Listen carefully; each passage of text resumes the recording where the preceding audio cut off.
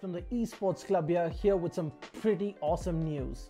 Now, as you probably know, we've been running the WD Black TEC League for Rainbow Six Siege powered by LG Ultra Gear for the past few months. As we come into August with our final season of the league, we wanted to celebrate with you guys who have made this an amazing experience and an extremely successful esports event. We've teamed up with some of our favorite partners to give away an entire esports PC for one lucky viewer. Yes, one of you is going to take home a complete PC featuring some of these awesome parts.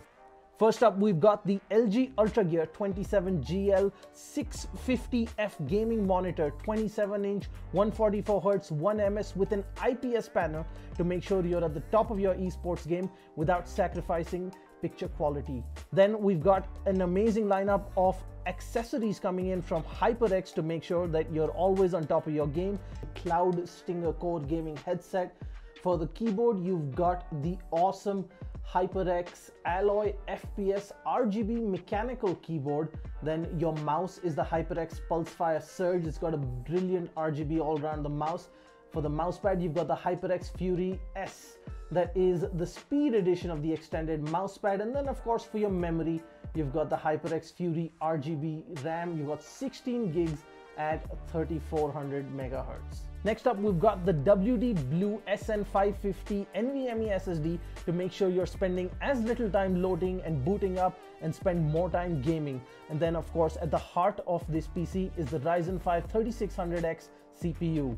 Now, as you know it, at the heart of every gaming PC is a great GPU. So we've teamed up with Zotac Gaming to give you a brand new RTX 2060 because frames win games and there should be nothing between you and top of the line performance. Next up, we've teamed up with NZXT who make some of the best and most premium PC components on the market. Powering your PC is going to be the C850 fully modular power supply and your cooling solutions are going to be taken care of the Kraken X63 all-in-one liquid cooler. Now we wanted to make this PC something truly special and while the NZXT H510 Elite is a great cabinet for anyone, it wasn't enough. We teamed up with NZXT to give the winner of this giveaway a brand new NZXT H510 Siege Edition cabinet. This is a limited edition licensed Rainbow Six Siege themed cabinet from NZXT. There are only 500 of these in the world and just a handful coming to India.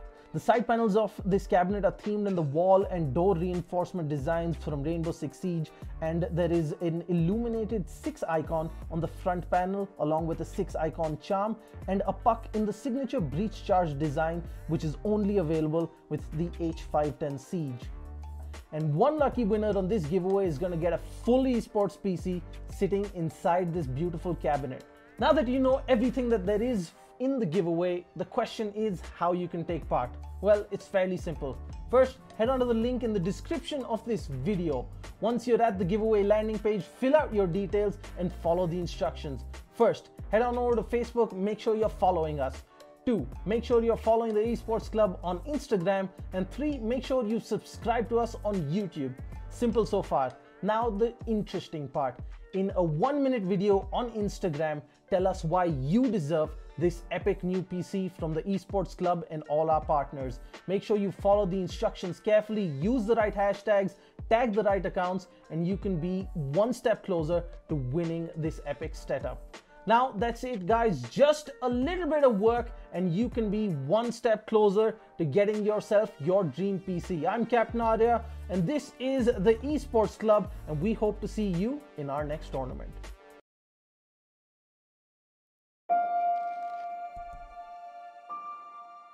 The moment of creation is a form of magic, where an off becomes an on, a zero becomes a one, then another, and another, until, deep in the complexity, you discover order, speed, reliability, power.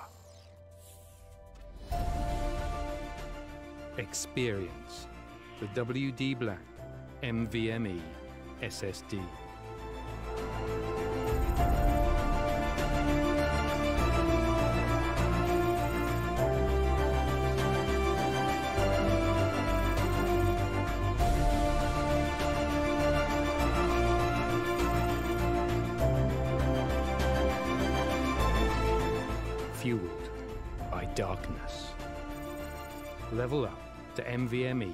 SSD performance.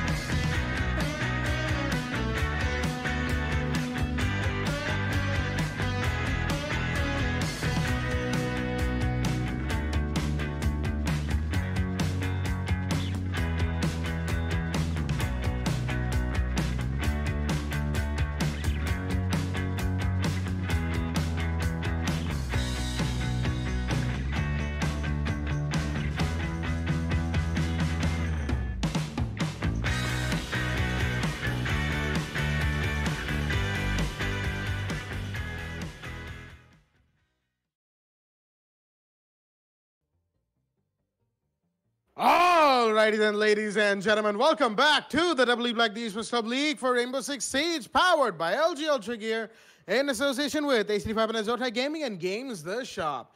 I'm your host, Blackjack. Joining me is my co-host, Am and Foxy, and our analyst, Babagusa, as we are here for the day four matches of Division 3 in season five. Week two for Division Three is about to come to an end, and slowly but surely, we're about to hit the halfway point of the season. As Div Three tonight is going to start off with a fantastic game up ahead of us. But before we get to that, a reminder to all of our viewers at home to check out the socials of the Esports Club on Instagram and Facebook, and the link down in the description below to check out a giveaway of a limited edition Rainbow Six Siege PC featuring a cabinet from NZXT that is specially Siege themed for this particular piece. There's only 500 of these across the world. So if you want to have a chance of getting one for yourselves, check out the Esports Club on Instagram and Facebook, and the link down in the description below for on uh, for details on how to enter the giveaway. That was a that was a flawless plug, except for right at the end. Anyway, with all that being said, Nat versus Sangfroid Sports is going to be the first match of the day, and it's going to be a pretty, pretty big one. Nat, they have been fantastic this season, but uh, Sangfroid, they're pretty much the polar opposite, so the Clash of Opposites is up on our screens. But more on that from our analyst Baba Gusta over at the analyst desk. Baba, how do you feel on this fine, uh, I guess, evening? Yeah, it is. It is Well, evening, yes. I mean, Yeah. I mean- it is evening. 5 Mhm. 11 p.m. is the timestamp of uh, Indian Standard Time. So yes, this is uh, definitely evening, Jack. And coming to the you know two teams that we're going to be seeing against Nat versus Sangfroid Esports. They're going to be going on a map of Cafe Dostoevsky. Coming back to their history-wise on the previous matchup, they haven't lost a single match in Mhm. Division Three. That is really interesting to see. I mean, I mean, I, I have uh, absolutely no words to talk about Nat. We actually did see some very great uh, frags coming in from both Drish and DZ. Eventually, you know, i- i- they basically blew our minds away with that, especially when they were on defense. Uh, they, uh, uh, sorry, uh, DZ getting those early frags on attacks really were working out quite well in their favor. Seven I to really want to uh, stop you right there, Baba, and talk Mhm. about DC as well. Like Yep. we've got Drish and Dizzy coming up for Nat always, you know, standing up for them. But Desi has been the one getting impact frags, you know. He does not happen to survive the run, but he's already pulled out a play that can assure Nat so much more stability, so much more, so much more better push that they can establish for themselves, especially when it happens to be on attack. On defense, though, he has been at it, but attack has been just another thing for Desi. So a shout out to Desi as well for those impact frags that go a little unnoticed, but hey there. I did get I did, did get to lay my eyes on you. Yes, uh, some great great plays from the man himself. Absolutely, Foxy. How can I not forget about Desi with his uh, critical plays uh, for Team Nat to gain assert dominance towards the other opponents and hopefully push them towards victory. And my God, it is working quite well on their favor. Uh, yes, uh, talking about the match against KL11 on previously, it was 7 to 3, in which uh, they had a little bit of problems facing on attack, where we did see KL11 successfully, you know, winning post plant uh, thanks to Bot with his excellent SMG 11 plays with the mute. But in the end, Nat just immediately stole the show away against KL11, proceeding their dominance for the past seven to 10 rounds. It was on the fear of Nat giving no wins or to KL11 on attack. So, which is that is really, really great and exciting to see how uh, Nat has been performing excellently. Coming back to Sangfroid Esports, uh, it's it's very Yep. unfortunate Yep. for them to go through. To like, uh, I, I have uh, it's it's it's really bad for me to say about it, but. Uh, according to their win loss ratio, they haven't won any single matches. Indeed, zero to three win loss ratio. Uh, we did actually see a really di- disappointing and a very unfortunate match on yesterday where Sangfroid Esports weren't up to the task. And yep, and actually lost against Naves Gaming on map Theme Park, only winning one defense. And yep, uh, we actually did see Sangfroid Esports going up against Saw, which was a very close, uh, uh, putting it to maximum overtime on map Coastline, but looks like it didn't work out quite well. Saw won against Sangfroid Esports with the shot effects. The, the player on the side of Sangfroid Esports having a total of 17 kills at that time. So coming up to the community votes, uh, we're going to be seeing Nat a total of 71%. Uh, Esports is around 29%. So I mean, I, I still I I'm still glad that the viewers who still you know support for Sangfroid Esports maybe they might be able to see some great plays coming in. Hopefully, you know, winning that one uh, important matchup against Nat in which uh, Nat are basically dominating on Division Three. Well, only time will tell as we're going to be seeing them go up against each other on map the Cafe Dostoevsky and fingers crossed. Let's see how well they're going to be performing, Jack. Absolutely. Thank you for that beautiful analysis of the game coming in, Baba. And just as you said, Sangfroid Esports have not had the best of times o- over the last couple of seasons, really. They only barely managed to avoid getting relegated out of the tournament season four, and now they are down 0 3 on their match count in this season, season five. We're already in the band phase of this match, ladies and gentlemen. The match of. Uh, I mean, I guess you could call it the match of opposites based on their current positions in the leaderboard of Division 3, you know.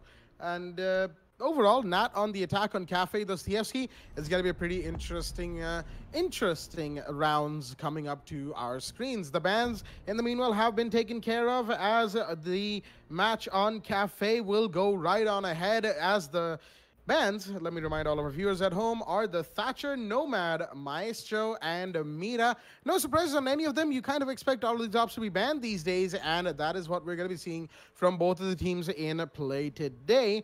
Let's have a quick look at both of the rosters from the side of Nat. We've got Dexter, Dizzy, Desi, Haveli, and Drish.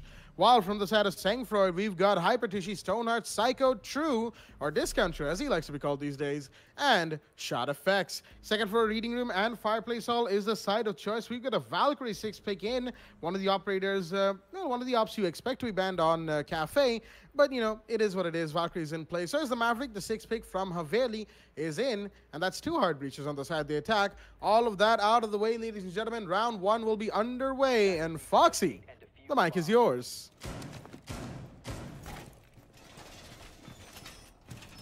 Thank you for that, Blackjack. We're back here, Nat versus Sangfroid Esports, and just like you, both, of you happen to imply on the fact that Nat has been at the top of the game, been uh, they've been defeating people left and right, beating teams left and right, and in fact, even through the qualifiers and into Division Three, they've been staying strong.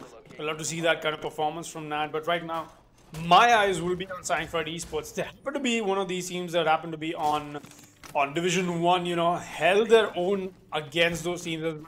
Two, we got them to see with a little bit of downfall since then. Division Three at the bottom of it right now. New teams coming in and just just walking right over them. Definitely not the place you want to put yourselves in. Sangfroid Esports needs to sort whatever is lacking for them right now. Definitely, they need to pull, you know pull all of their strings. In fact, we're seeing the first defensive side come out on the first floor. In fact, quite interestingly, so it'll not be on the on cocktail lounges. Not something we get to see a whole lot, but that's how we've been seeing the trend take away in the league in itself. We're seeing teams that are up for this first, then they happen, and then they go back to church. I mean, cocktail and lounges. So that was just a joke, guys. That's right. I mean, happened to lose. That was a ranked joke where we get excited and choose sites we don't want to be choosing. We lose them and then we don't play them ever again. But yeah, that being said, we're seeing Desi is already holding down the Sanctions. Almost found the Jaeger here. Most possibly will be able to convert that into a possible frag as well. Will he be able to do that or no? Is the real question. Soft wall breach will come in for the Zofia. Very easy for her to do that, but he's got to be careful with the Wamai. The Wamai wants to go for the speak, in fact. Discounter will be watching that angle. He's got himself some nice a nice line of sight as well. But there's so many so many ADS and my charges that are catching Zofia off guard. There's so much work happening right now for this one Wamai. So much utility burning out. He wants to go wide. He wants to find these find these kills for himself, but he's just uh, just not aware of this position. Just no intel trade-off despite the Valkyrie being played in. Maybe the cam has been taken out as well. The push-up is caught out and Drish will take the fall. Discount Crew is going to get the first frag for himself on Sangfroid Esports. Really good, really good uh, early and a very good uh, entry frag as well. But we're still seeing Hypertichi allowed to play so aggressive. He's going to find one. He's going to find the Hibana, but not find her. Not literally, literally. He just knows the position where the Hibana is playing. That floor is definitely not C4able, so it's just not anything that the side operators can do for him as well. We'll see a three-man push convert to a two-man push, two-man hold, in fact, from Hypertishi and Stoner. That is, no, sorry, that is going to be discount for the Oh my. The push is coming in from the attack, and that'll be the first frag for. Oh no, that is actually going to be discount for winning that. He's going to get the triple, in fact. Discount for amazing gunpowder that he's brought on board with the my pick for himself. The aggression from Hypertishi is win, this fight, though. That's the IQ taken down no, the IQ win that double dizzy coming in once again. Discount from meanwhile did find a squad kill before going down to the IQ, shutting down the ace. And almost ace for discount with the 4K starting off definitely a great start that he's put Sangfroid Esports and himself in. Let's see if we're still able to see Dizzy put out these two kills on board. He's going to get the first one. Now that's going to be the third one for this round, in fact. But the first one is in his little journey that so 20 seconds for the clutch. The push-up will come and he does hear somebody, but he's not going to win that fight as the SMG-11 against the railings. And the SMG-11 wins. Psycho on the mute is going to get the frag in. That'll be the first round secure for Sangfroid Esports. Not, not, uh, not very textbook play, but very amazingly well played. Honestly, it was great. There's a good defensive round. Round two will be underway. We got the first round, and, and that means they will be going to kitchen service and kitchen cooking, not cocktail yet. Uh, not surprised, honestly. That's good. We're getting to see a huge, excuse me, we're getting to see a huge rotations from uh, the teams in terms of map approach as well. That's amazing. In fact, round two will be underway. Let's see who happens to make this match a little spicy, or will it just be will just be Sangfroid Esports walking over Nat, just like we saw them do in the first round. What are your thoughts on that, Blackjack?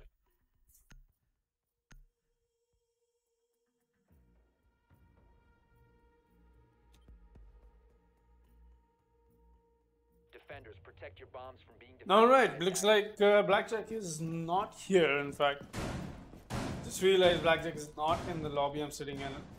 I must have possibly dropped me a message or something regarding it. No, he hasn't. That means I hope he's all right. he's just having a power cut, maybe, guys. Don't worry.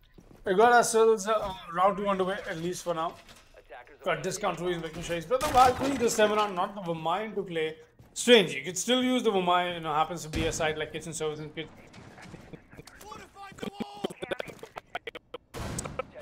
Of, uh, on the side of the freezer wall, interestingly so, you've got the castle barricading off and completely making the side of bakery an alien spot, in fact.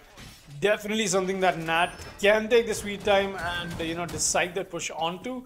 Or they could just go for the direct challenge and uh, and go for the push on the side of freezer. Not the bakery approach, but uh, looks like the positions and, and the formation that Nat is coming in onto is going to be a bakery push indeed.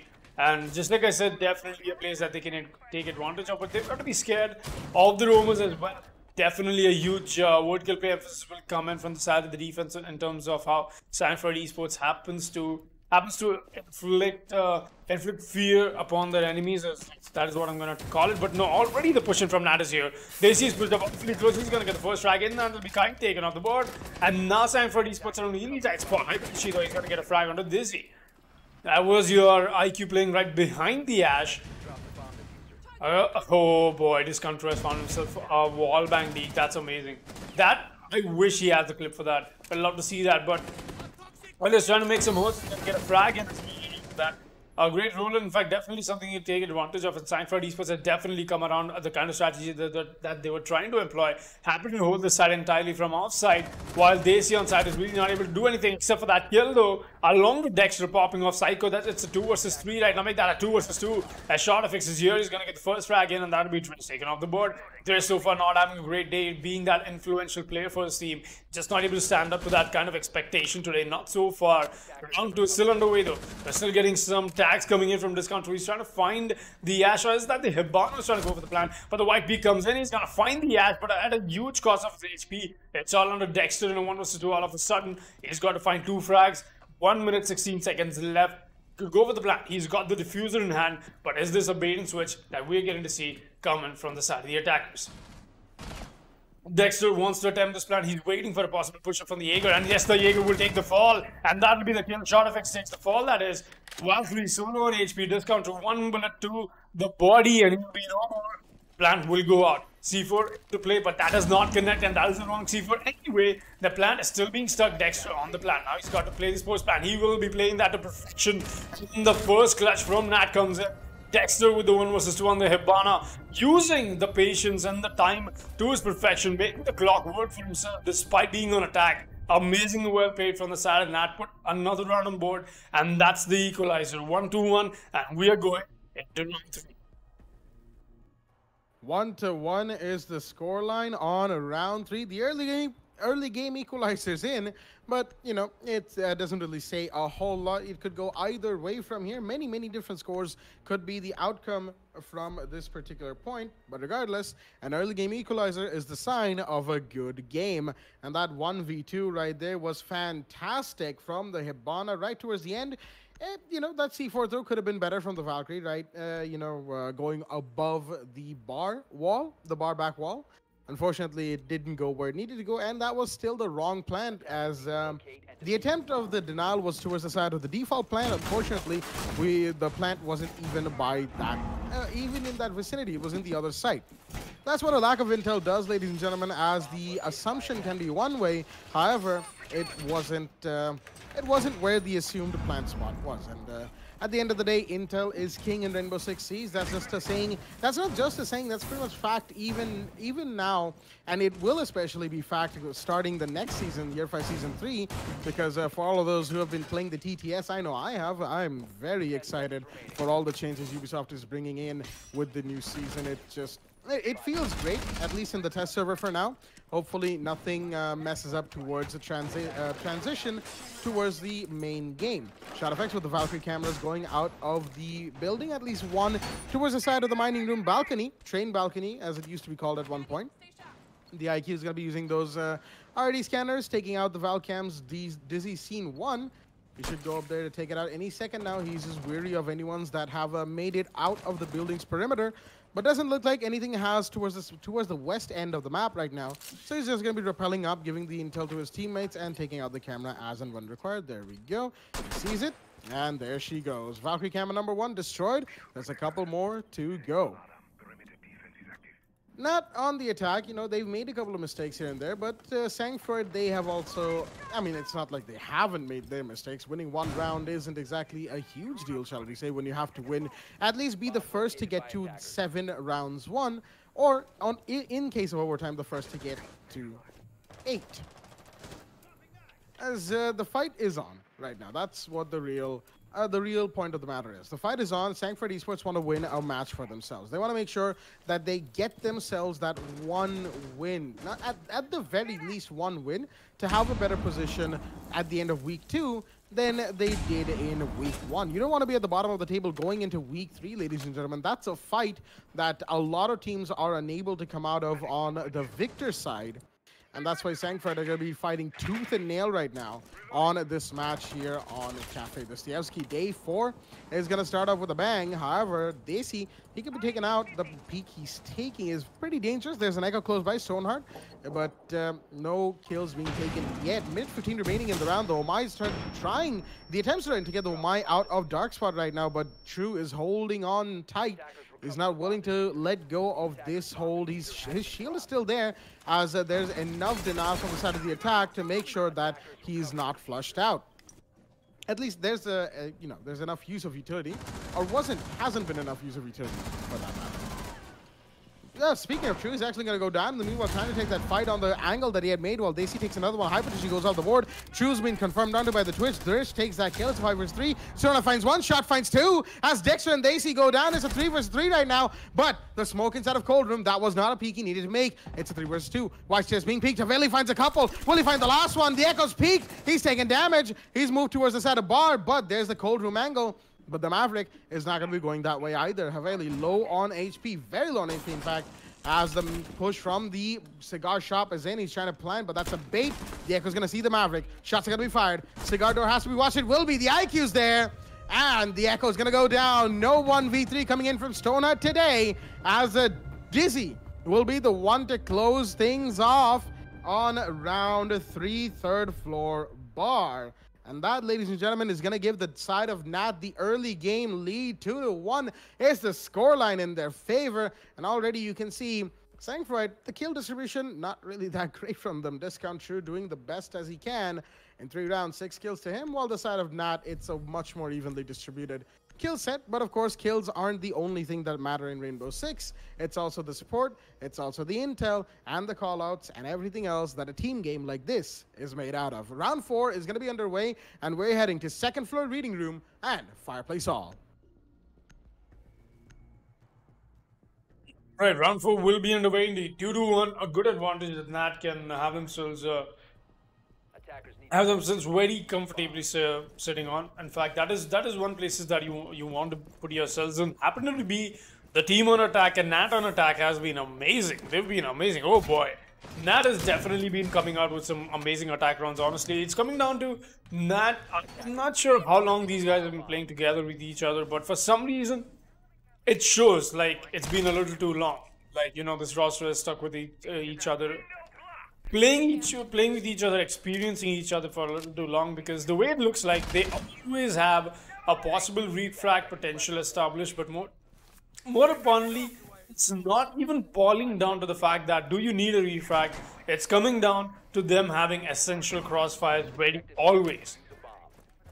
And that is huge, you know, coming in from from a team uh, that just happened to qualify through the qualifiers, coming into Division Three, getting to see that kind of play. This was, in fact, uh, on on a different uh, on a different parameter though. This was my same feeling about KL11 making it through qualifiers and into Division Three, but they've not exactly standing up to my expectations coming to Division Three. Nat on the on the other hand, happens to be another T100 Valiance here. I'm gonna have to say that I don't uh, mean to disrespect Nat in any way with that statement. It's just the fact that T100 Valiance, there's no way I'm even, you know, throwing in a little bit of a subtle one as well because Valiance have been amazing. And look at that early aggression from Short Effects.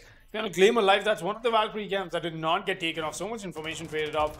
Possibly went for a not yes he did. There's the refrag right back from Desi though. He's gonna get the first frag. Yeah, that Yash uh, find that stray on. That's up top and find on Skylight. That, that was your so you've it's a nice frag indeed. This control is uh, definitely facing the heat here quite a bit because now with the Jaeger dead as well. There's no backup when he happens to move back. The, what the? How did the how did Drish walk away with that? How did the how, well, he gets a double off of it? He gets a double off of a rappel into the white hallway window. Nothing that the defenders could do except for get the refrag finally. Short effects will be shutting down Drish. It's a two versus three. Already put themselves in really good in a really bad position. In fact, Psycho and Short effects are all that is left. You got Psycho. He's she's not got the she, she's got the C4, excuse me, C4 in hand. Uh, great, great uh, confusement coming in. That's why people confuse me. We'll still, we'll still be seeing him in call rip other C4. You might as well claim this. No, the Ash is too fast for it. Going for the rotate after hearing the C4 rip coming in. And uh, let's see what happens. Going at a 2 versus 3. Still established. Nothing going in anybody's favor except for the drop that is being expected from the side of the attackers. The push will be in from the other side, though they've got to be careful about this. Short effects knows exactly what he wants to bring out on this angle that he's happening to play on the bottom of the white stairs. Anytime now. Pushes in. Short effects, very patient about this. He's got to find the first frag. He might as well find two off this angle. Will he be able to convert that? He's not going to find the first one. That's a cleanup from Nat once again. Look at those crossfires. Dizzy gets one and then see with the cleanup. Nat has definitely been on top of the game with the gunplay that that will bring on board. Look at that aggression both of them committing to a 1v1 and winning 1v1, happening to keep themselves always in the advantage, you know, always playing on the straight offs, coming with the crossfires. Once again, that some amazing team coordination puts them another round on board on attack for a map like Cafe. 3 to 1, round 5 would be underway. And that right there is a fantastic example of why Nat has turned out to be one of the best teams coming in from qualifiers into Division 3 this season. Even when they lost that body, even when they lost that one man that equalized the man count in favor of no one in particular, the call was in instantly that the that there's somebody playing the white stairs, what they didn't know originally. And then, just as Foxy said, the commitment to the individual 1v1s, taking those gunfights, and not only winning them, but winning them with a rather uncanny level of uh, coordination. It, it went off instantly. It was just Maverick gets dropped and both defender heads get popped. Ooh, that was uh, something to behold, as right now we're going to be in round five. And I believe the side that was initially being peaked was first floor kitchen, but looks like Sangfroid have decided to go back to second floor reading instead. Attempting this site one more time, this time with the castle in play, Hypertushi playing the operator with the UMP. And we're going to be interested, interested, excuse me, to see if uh, if we get to see once again Drish, you know, rappel through the white stairs uh, corridor window. No, we actually won't because there's a mute jammer in play along with the castle barricade. The way old mute castle combo right there. Oh, that brings back some memories of um, of uh, absolute uh, foolishness that I used to do back in the day. But you know, that's that's that's a long time ago. It's been a couple of years from that point. So, uh, moving on. Round five underway. The Twizjon doing what a Twizjon does, trying to find any defender utility and uh, take uh, take it out as fast as uh, possible. Drish, he'll probably be looking to take out that uh, White Stairs window mute jammer. Yes, no, maybe, okay. There's a little bit of a cluster right here. The Hyper Dushi and Discount True on the dark spot of Cigar Lounge. Actually, the castle going to pull back down the white stairs in the meanwhile, leaving the Wamai up on the second floor, at least towards the side of Cocktail. Not Cocktail, excuse me, the side of Piano. Cocktail's being held by the Jaeger. That's shot effects. Nat's got a good uh, attacking advantage right now, and they're going to be looking to expand this even farther because going into the defense on Cafe is definitely a good, good situation to be in, especially if you're in a 4-2 or a 5-1 advantage. So 5-1, obviously, in most regards, is better than a 4-2 regardless. But uh, in, in the situation that we're in right now, where a team like Sangfroid is in question, sure, they may not have had the best time in the last uh, couple of matches, last season, in fact.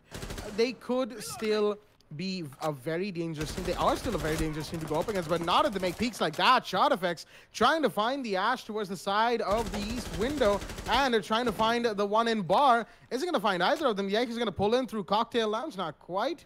Through the through the bar through the bar desk.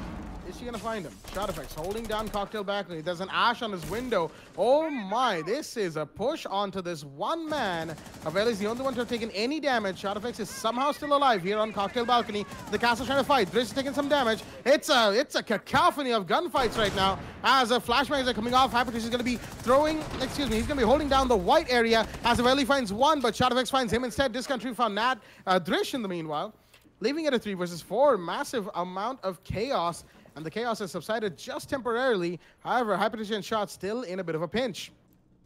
There's a vertical angle that's being watched by Dexter, the man with the diffuser. Hypertition still on the white corridor. He's to try and get that, but no shot. of He's to find one more. And oh, that's the worst time to throw a flashbang. Daybon is to go down as well, leaving this the last man standing. And there's the run out or the jump out from shot effects out of that cocktail balcony window that he was being pressured on not too long ago. Finds the kill on the Ash and pulls back into the building as Sangfroid Esports have put their second round on board. Round five goes to them, and it's a 3 to 2 scoreline going into round six. Nat still in the lead, but only by one round. And now the question is will the equalizer come into play?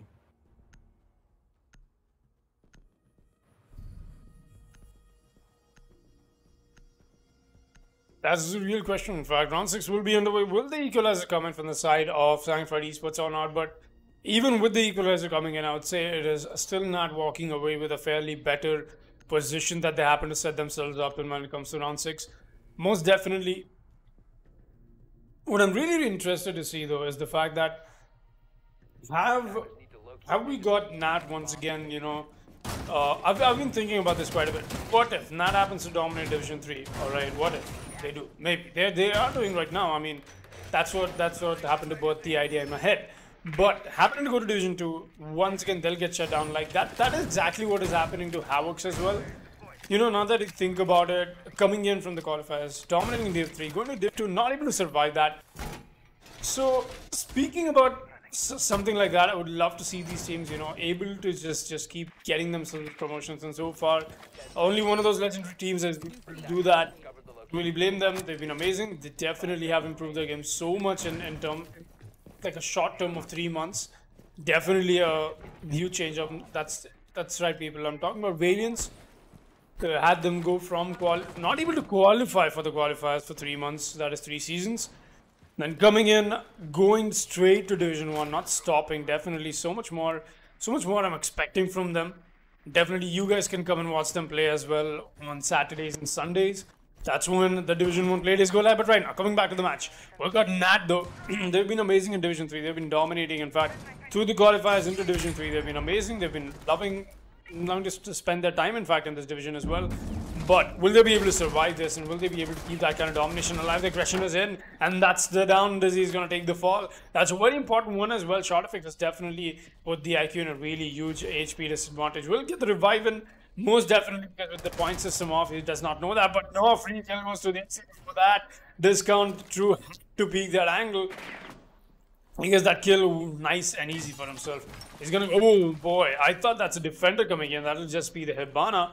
We still got uh, a 5 versus 4 established and the 5 did come in, but that's a, a bit of a disadvantage. They've set themselves up and that stone out with the kill. Look at that. That shot with the TCSG. So, fact, I was not expecting that. I was actually, I was actually off my, off my spectators and, and combing my hair. But anyways, coming back to this, we got ourselves a nice frag coming in once again. Hyper standing up for his team. He's going to find another frag. And that'll be Drish taking the fall. Drish not having a great day today, not able to do the influential plays that he loves to do so amazingly well. But uh, looks like it's just going to be more of his team performance. Just ahead of the castle getting spotted there. He knows this, but it'll be Desi to take that out. This, this is I'm talking about. The amazing, amazing impact frags that Desi happens to bring out for the team. But still seeing Dexter make the push happen on with Dizzy on the breeze. That's a good position in terms of what they're trying to bring out, except for the diffuser is still in the hand. The Ash, they want to go frag and that's what I'm thinking about this. Dexter is going to get the first frag in. Stoneheart is going to find the Daisy instead. That's a huge and a very important kill. Not enough HP damage done as well. The C4 will come out. That's a good bait and switch play for them. Shot effects goes out from the hallway in the open. He's going to find the first frag and that'll be a taking the fall. It's out on the Dexter. He's going to find the first frag, but will he find the second one? He has to go prone and yes, he will. But Shot effects is not at that doorway to contest that as an angle. Dexter wants to get aggressive, wants to find this frag. He does know that he's not at the diffuser, but it'll be Shot effects already playing inside the side of reception. He's waiting for this very cheeky spot right now. He can definitely pull this off. Dexter so low at HP. He's expecting this push up from the closet hallway, but Effects is very patient about this. He's going to beat this out.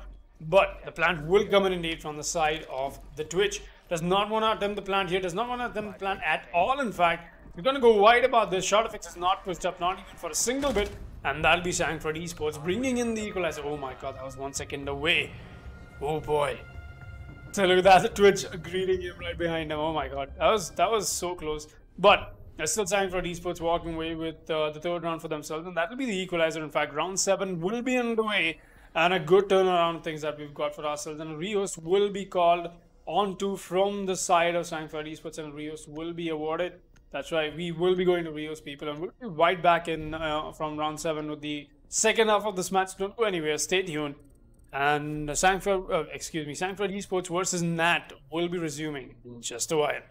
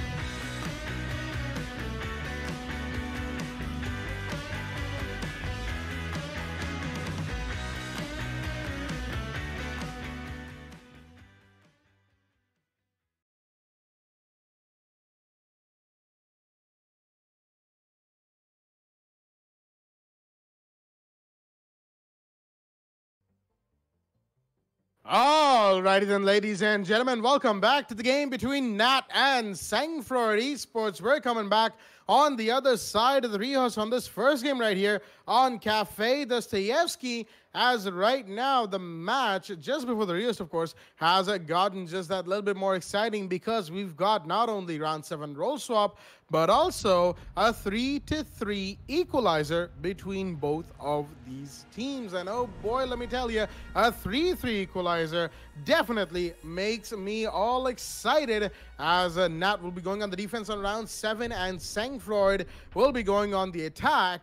And uh, that's pretty much what seven roll swap is, a three to three scoreline, meaning that it's a it's a roll swap of the truest sense because you're effectively starting out from scratch. But Cafe being that defender-centered map, you know, it's not a heavy defender-centered map. Attackers certainly don't have as much trouble taking rounds on a Cafe as they do in maps such as, excuse me, they're in maps such as Clubhouse and or Theme Park.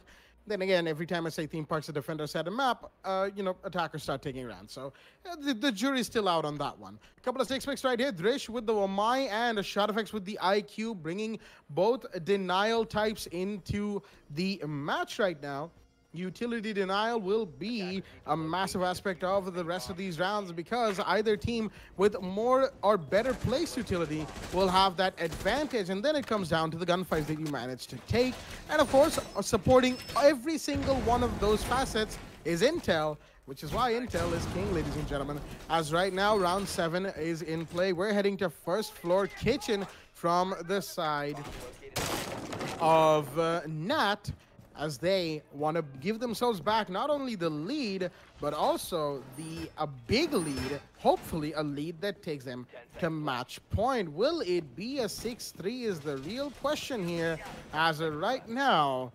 Oh boy, this game. I mean, it can only be stated so many times how exciting this game is, and I say that for a lot of games, but uh, in, in most cases, you know, it is an exciting situation to be in, because Rainbow Six Siege is one of those games where, where, even if all the chips are down and in front of you, at least that's what it looks like, there's more than meets the eye, and it could turn around in a fraction of a second to uh, the other team's favor. And that's why you always want to keep your eye on the ball. Never get complacent even for a second. And, uh, ooh, the game punishes you very hard for being complacent even for a single moment. This country is going to make his way towards the side of third floor piano, and the hatches are going to be broken from the, his uh, teammates right there. Of course, the gridlock with the super shorty, making sure that the hatches of third floor are taken down nice and quickly as the roam clear will be coming in from the side of Sangfroid's attack. But they got to make their way first uh, to second floor, make sure there are no roamers here, make sure that the C4s are baited out and they don't do any damage to the side of this attack. They don't lose any members to this either. And uh, that is uh, going to be a pretty interesting task because uh, not often, like uh, often those C4s do a lot more damage than you want them to, but there's only one C4 that they have to worry about. That's Aveli, the Valkyrie, bringing in that facet for the side of the defense. Discount True. He's got a nice long vertical angle that he's contesting right now, all the way down to the cold room area. At least the desk uh, or the counter next to the clo or the cold room, excuse me. Not gonna find anybody. Will he see the head of the Wamai? Yes, he does, but doesn't quite get the kill. Just a little too late to react on that. And the man's able to sit back and relax, but Drish is gonna find one Stone Arts off the board. And that's a pretty big drop right there. The sledge is down. That's a lot of... Uh, excuse me right there. That's a lot of... Uh, yeah, there's a lot of damage right there. A lot of soft breach that the side of the attack could have used. Albeit the Sledge has done quite a bit of that already. It's not enough, shall we say. Dexter, in the meanwhile, is going to be down. The smoke has taken some, uh, has taken a, a, bit of a beating as well. Ooh, Drish, you want to be careful on where you're making those rotates happen inside of sight. Hypertg trying to do what he can at the rest of the attack. Oh, dear me, Dexter. He was down just now and falls right in the clutches of the Hibana. Once again, is going to go down. Hypertg gets that kill as well. As it's now four versus three. Sangfroid Esports are looking a lot better today, but the Valkyrie is going to start things off by equalizing the man count three versus three. But the Y goes down inside the side. That's the cold room house drop right there. As shots are being fired, the Valkyries contesting by the door. The C4 comes in. It's not going to find anybody as the plant should come off any second now. Psycho's got the diffuser. She's going to be doing it as there's Daisy with one. He's got to do this in a one versus two. What will probably be a post plant situation for the Jaeger to try and play in. He's trying to play vertical against the attackers, but no luck so far. Drops into sight. There's Abanaba going prone, and he's going to find that kill as it's all down to the one versus one. Shot effects versus Desi, the GSG9 against the GSG9 operator. Jaeger peeking by the bomb. He's got to be careful. He doesn't have intel, but now he does. He knows exactly where that JD1 shot came from. But shot effects. He's rotated towards the side of kitchen cooking. The counter defuses in. The Jaeger's pressing it. He's still pressing on it. No, he's gotten off of it. Shot effects knows that that was a potential bait. Shots are still being fired. Is that another bait? Yak is going to hold and peek and then get the kill. Well done from shot effects once again. Patient as much as he needs to be making sure that the Jaeger had no other choice than to go for the counter defuse if they wanted the win. And that will give the side of Sangfroid Esports round seven on the attack. It was a little chaotic, a little clumsy, but they still managed to get it uh, get it done as um, as well as they could in that situation. The 1v3 could have happened right there. Unfortunately, it didn't, and that's why SF are now in the lead, 4 to 3 in their favor on round 8. No, right. Three to four, definitely a great, uh, great scoreline that we happen to happen to have here over here for ourselves. A great turn of events. Let's see who's, who's going to be able to stand up against each other. Round seven will indeed be underway. Uh, round eight, excuse me, will be underway. Let's see who happens to happens to take it. Excuse me, there, guys. I was a little too preoccupied with my my head onto uh, finding the statistics of Nats players, you know, what uh, what kill death ratio they have, what was the performance in week one and stuff. But yeah, I could not find it in time ready, so I'm not going to speak about it. But for now, we'll be going to round eight. That's that's what we want. So yeah, I got disease at the Roni, in fact, on the Mozzie as well. Uh, good operator definitely could use him as, as a kill machine if you want him to, but uh, I would really recommend you to deny as much as or cripple the attackers as much as you can and then happen to go a little more frag oriented role. And you bring out maximum drones out for yourself, even if pick three drones, that's huge. That's that's already putting the attackers on a huge deficit, especially when they're trying to establish map control. The three three pests are unspokenly important, honestly. You don't speak about it a whole lot. They're very important for that. Now let's see what happens though. Oh god, Haveli is running the Bandit and the Yake. Both them playing awfully close. But with the, somebody else awfully close, that'll be Thresh. He wants to go C4 play, but he won't be able to do that. He's just gonna fall back, at least for the moment. He's just not able to pick this up. But we'll see Dexter get aggressive, awfully aggressive in fact over here. His exchange plays Haveli. Haveli wants to go back and try and attempt a bandit trick. As that is what they're expecting. The C4 from the Kaid has already been expelled. Maybe that's a pre-play C4 coming in from him. There we go. Thresh is to get the kill in and that be the Valkyrie. Where did he even get that? Was that above him? it's amazingly well done. That was really good. That was a C4, pre-play C4 itself. I'm not sure where that went down, but that's very nice. And maybe he threw that outside here. No, never mind. Anyways, we got the Valkyrie pushing back up. He's not to be found though, but Dexter takes the fall and that's a huge the push-up isn't, but that'll be spotted by the Jaeger. He's going to get the first frag in. He's still got the push-up happening from the side of the attack. He's not aware of this. You gotta be very careful about this. The first one will be Stoneheart meeting the crosshairs of the Jaeger. He's gotta be very careful. Stoneheart has made his way in. He knows that now with the now with that little bit of pre-frag comes in, the Jaeger.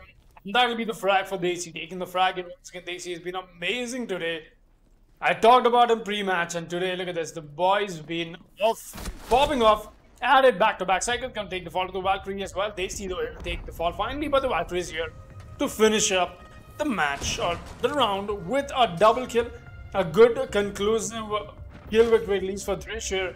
Definitely has uh, used one of the defensive sides to you know round himself back up, come back on the momentum that his team happens to be standing at. 4 to 4 is the scoreline. The equalizer is right back into place, and it's been quite the match.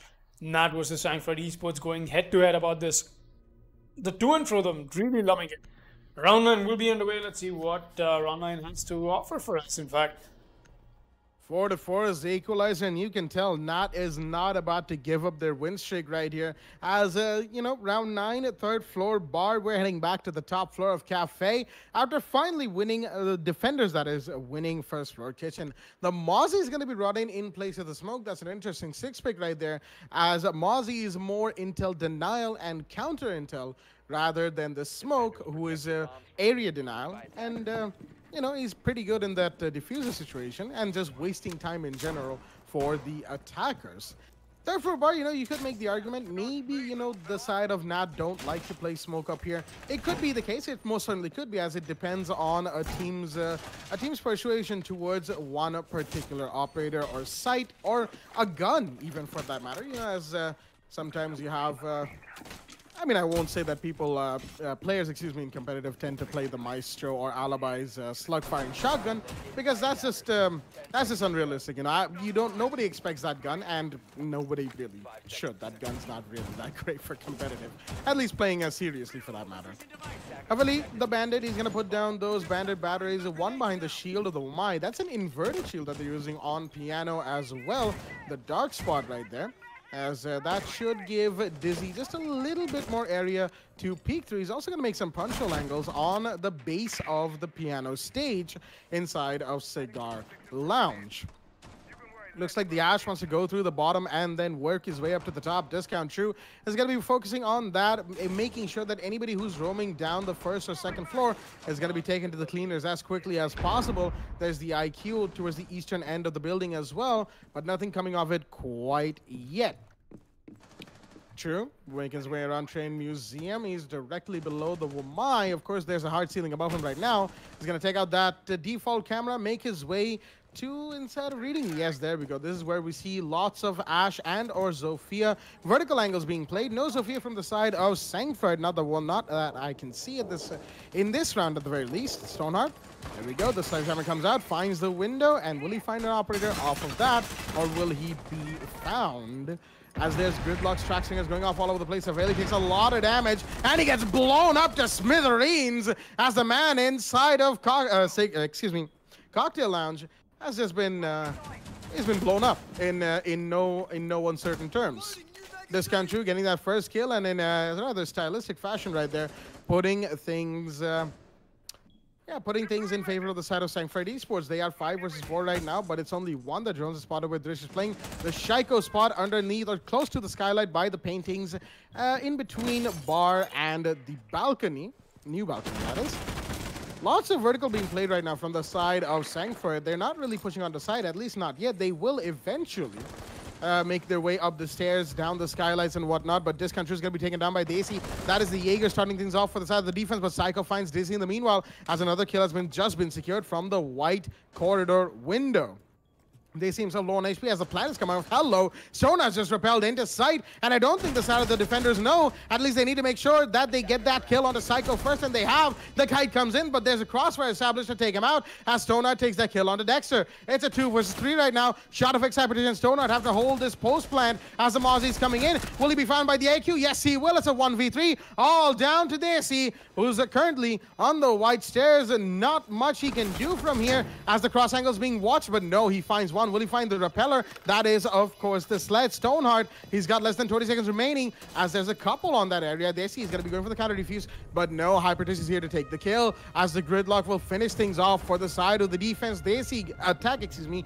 Daisy goes down, and that gives the side of Sang Sangfroid the lead yet again by winning round nine on third floor bar. And looks like there's been a little bit of a disconnect coming in from the side of Nat, and they're going to be calling for their rehost now as we'll be right back on the other side of the rehost, ladies and gentlemen. Stay tuned.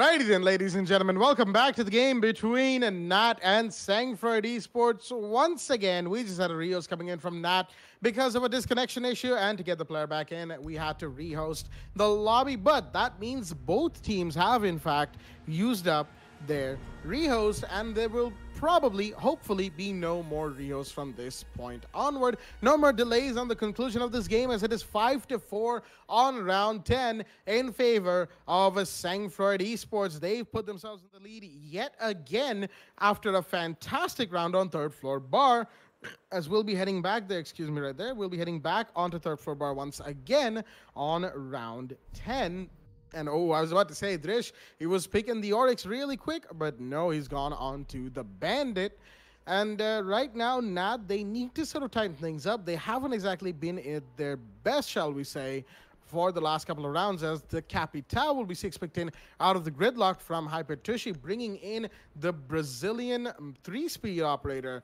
And um, it's still funny to me how Cap's a three-speed being as old as he is, but hey, if, if the man can run, more power to him Your bombs from being defused round by 10's in play and uh, ladies and gentlemen this match is getting more and more excited foxy any thoughts about what the potential outcome of this game could be attackers have located a bomb. I when walking into this match, I was expecting Nat to, you know, have a very dominating performance. And I think I shared that with you as well before the match started. But definitely, my opinion has in fact changed to what um, I think this match might turn out. As I'm not sure how it will turn out. I'm definitely sure that we want more of that. And more importantly, we want to see we want to see a very tough fight, and that's what we're getting to see. Hey, man, at the end of the day, my inner siege enthusiast is satisfied, so we're gonna we're gonna roll with it for now. Just gonna enjoy this beautiful match. We got round 10 underway. We got Desi running the Jaeger once again.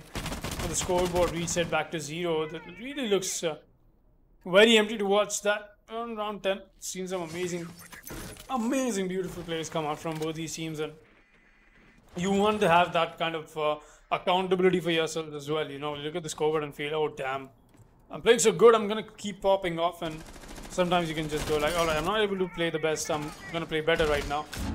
I don't know, man. It's just uh, it's just some mental stuff that happens to bother me a lot. I think about every single time of the day. But anyways, back to this. This he'll be holding the Wamai down. He's the Wamai was holding down the saddest cigar lounge. But here's the opening kill. Haveli is gonna find one as he welcomes in Stoneheart to his Haveli. Definitely not something that Stoneheart was expecting. Not that kind of an aggressive welcome. Not that for sure. You got this Discount moving up. He's uh, met himself in the mining room. We're going a little aggressive here. You got to be aggressive. He's got to be careful of that. Uh, of that push up from the Valkyrie. He's gonna spot him. No, he's heard him. In fact, he's heard him right. There's somebody else coming up the white stage. He's gonna get spotted. That'll be the trade-off. Or oh, Dump Down comes in. That's still going to be the play, play for Trish, though. He does not know there's somebody else pushing up on him. This could be huge.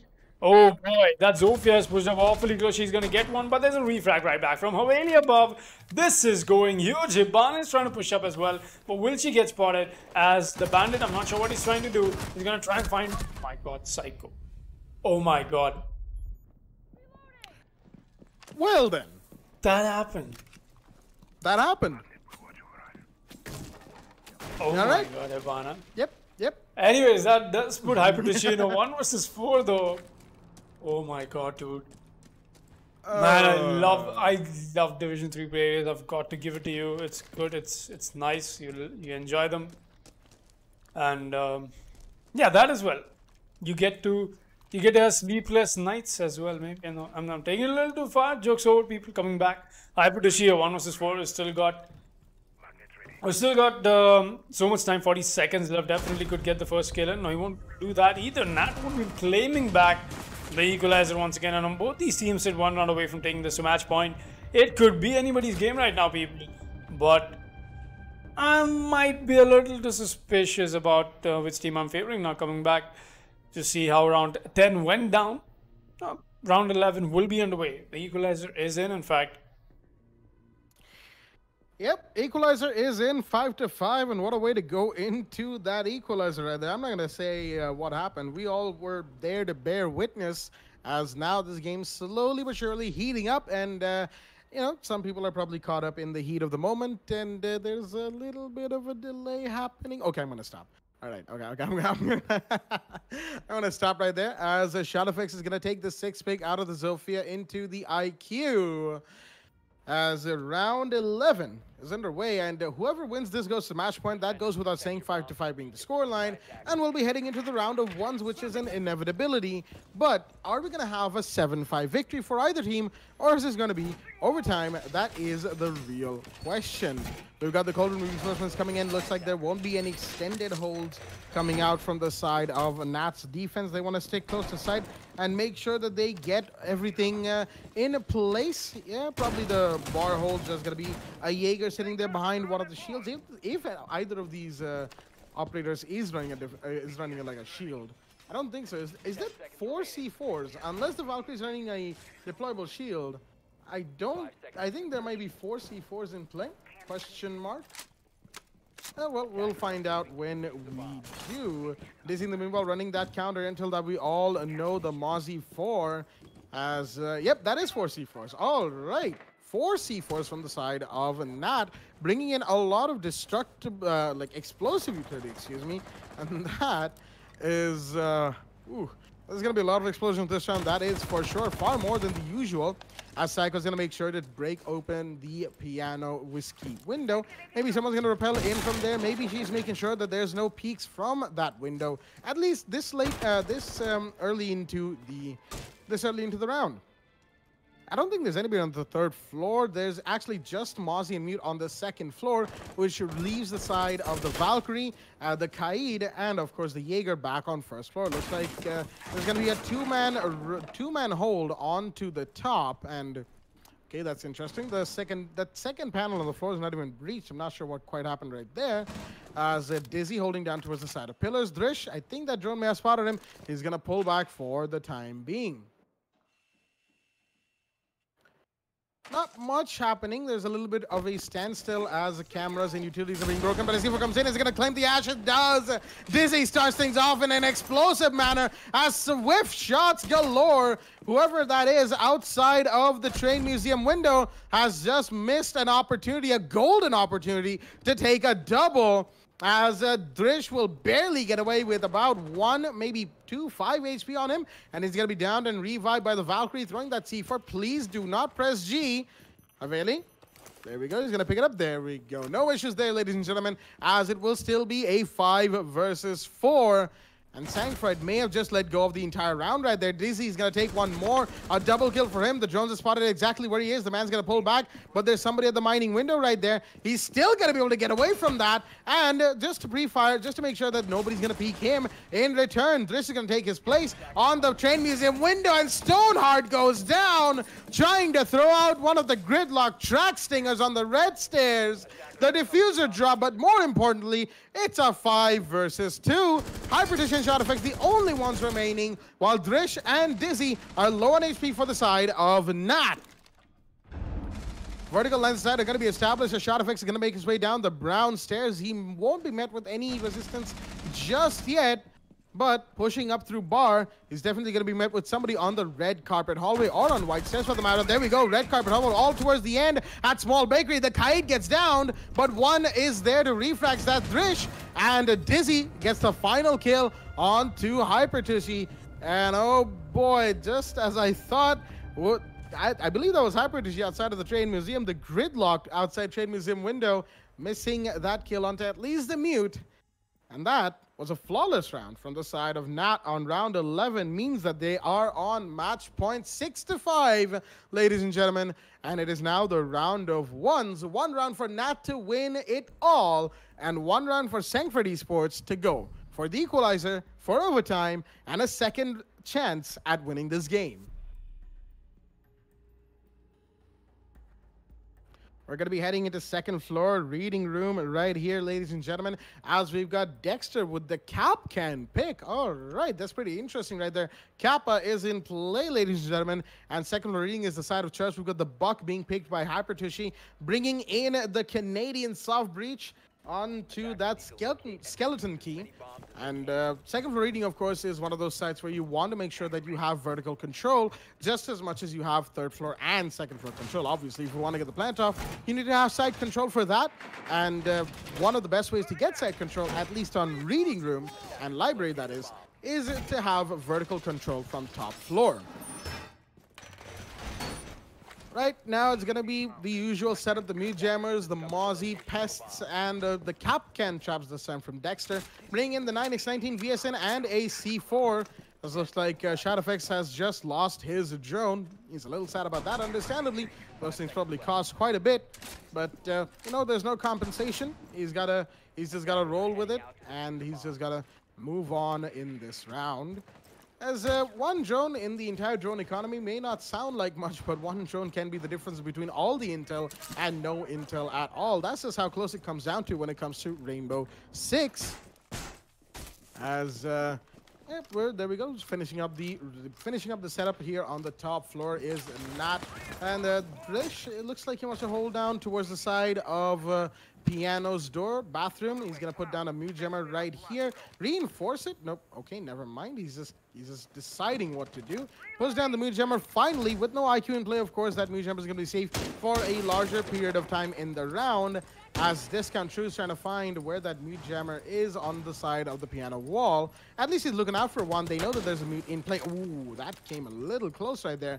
As uh, Drish, he could have been wall banged if he had been if he hadn't been where he was uh, right towards the end of the Ashes pre-fire. He's actually going to reinforce that off nice and quickly.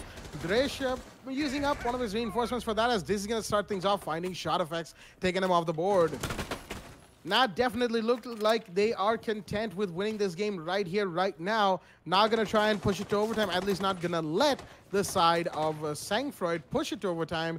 We can hear the uh, M249 soft Stoneheart going off on one of the windows right there. As shots are still being fired to open up lines of sight, and the Mute and the Jaeger in a huddle, or at least they were in a huddle on the White Stairs area. The Mute's going to pull back, and Dizzy's just peeking the White Stairs along with Daisy.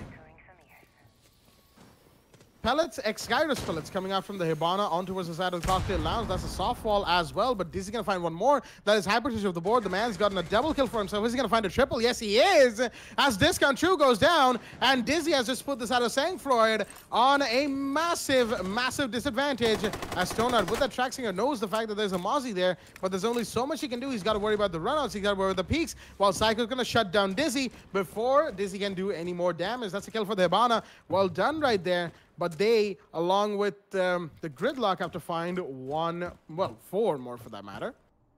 Stoner's gonna drop. The C4 is gonna come in, but is it gonna claim him? No, it won't. The C4 wasn't even thrown right there from the Valkyrie. Haveli saving it as uh, the hatch on the hatch and train museum is gonna be broken open as well. Stoner slowly making his way down not doing a whole lot as once again a two versus four right now. It was a two versus five. They found a kill. Psycho with that uh, shot onto Dizzy, shutting down the Jaeger as Hypertouch, excuse me, Stoner is going to be going for the drop on towards the side of the fireplace, but no, Psycho goes down. It's all down to the gridlock, finds one and gets taken off the board. Drish is there for the reflag instantly and uh, unfortunately for the side of Sangfroid Esports, round 12 goes to of Nat. No overtime today, at least on this map, ladies and gentlemen, as Nat are your victors. They continue their win streak by taking Cafe 7 to 5. It was definitely a much closer game than we probably expected going into the match. While Sangfroid,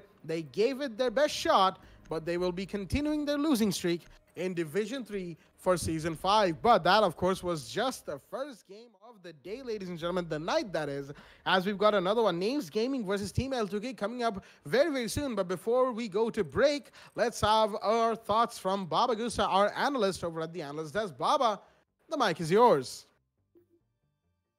Well, uh, thank you so much, Jack. And what a way to end the match. Nat uh, not even letting Sangfroid Esports put it to overtime. They've been performing quite well.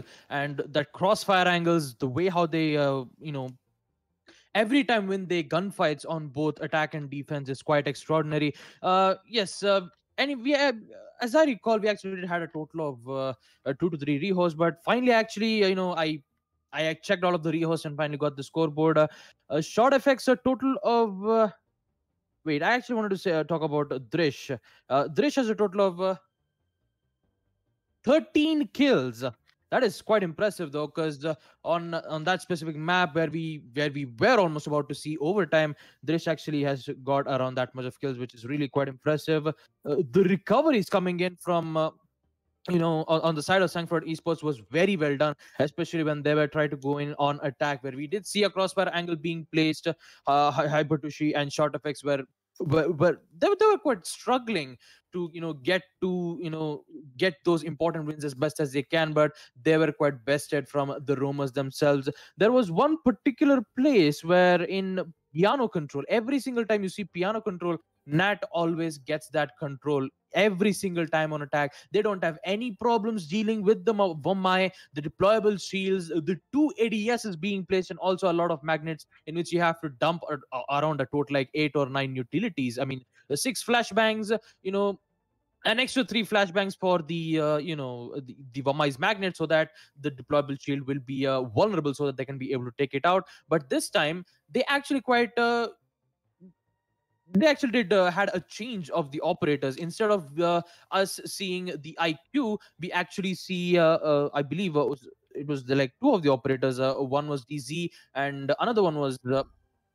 Drish, I believe, who was playing as the Twitch, taking out those important utilities every time on attack, which gives them the piano control as fast as possible. Now, coming to Sangfroid Esports, they have uh, they have been performing really quite well because we actually did see them win three times consecutively on round five, six, and seven. When uh, like on two rounds when they were on atta- uh, on defense, and seventh round when they were on attack, in which they did perform miraculously.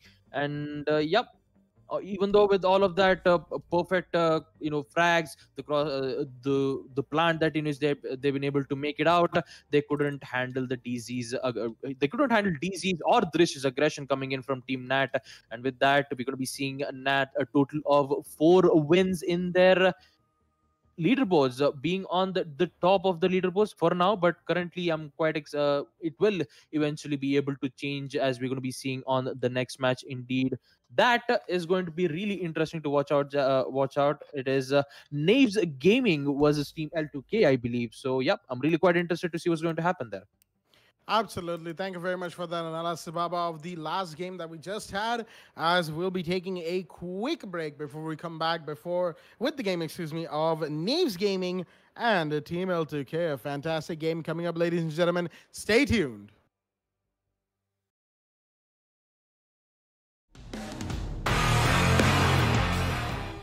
Very, very positive. Captain Arya from the Esports Club here, here with some pretty awesome news. Now, as you probably know, we've been running the WD Black TEC League for Rainbow Six Siege powered by LG Ultra Gear for the past few months. As we come into August with our final season of the league, we wanted to celebrate with you guys who have made this an amazing experience and an extremely successful esports event. We've teamed up with some of our favorite partners to give away an entire esports PC for one lucky viewer. Yes, one of you is going to take home a complete PC featuring some of these awesome parts. First up, we've got the LG Ultra Gear 27GL 650F gaming monitor, 27 inch, 144Hz, 1ms with an IPS panel to make sure you're at the top of your esports game without sacrificing picture quality. Then we've got an amazing lineup of accessories coming in from HyperX to make sure that you're always on top of your game. Cloud Stinger Core gaming headset. For the keyboard, you've got the awesome HyperX Alloy FPS RGB mechanical keyboard. Then your mouse is the HyperX Pulsefire Surge. It's got a brilliant RGB all around the mouse. For the mousepad, you've got the HyperX Fury S. That is the speed edition of the extended mousepad. And then, of course, for your memory, you've got the HyperX Fury RGB RAM. You've got 16 gigs at 3400 megahertz. Next up, we've got the WD Blue SN550 NVMe SSD to make sure you're spending as little time loading and booting up and spend more time gaming. And then, of course, at the heart of this PC is the Ryzen 5 3600X CPU. Now, as you know it, at the heart of every gaming PC is a great GPU. So we've teamed up with Zotac Gaming to give you a brand new RTX 2060 because frames win games and there should be nothing between you and top of the line performance. Next up, we've teamed up with NZXT who make some of the best and most premium PC components on the market. Powering your PC is going to be the C850 fully modular power supply and your cooling solutions are going to be taken care of the Kraken X63 all-in-one liquid cooler.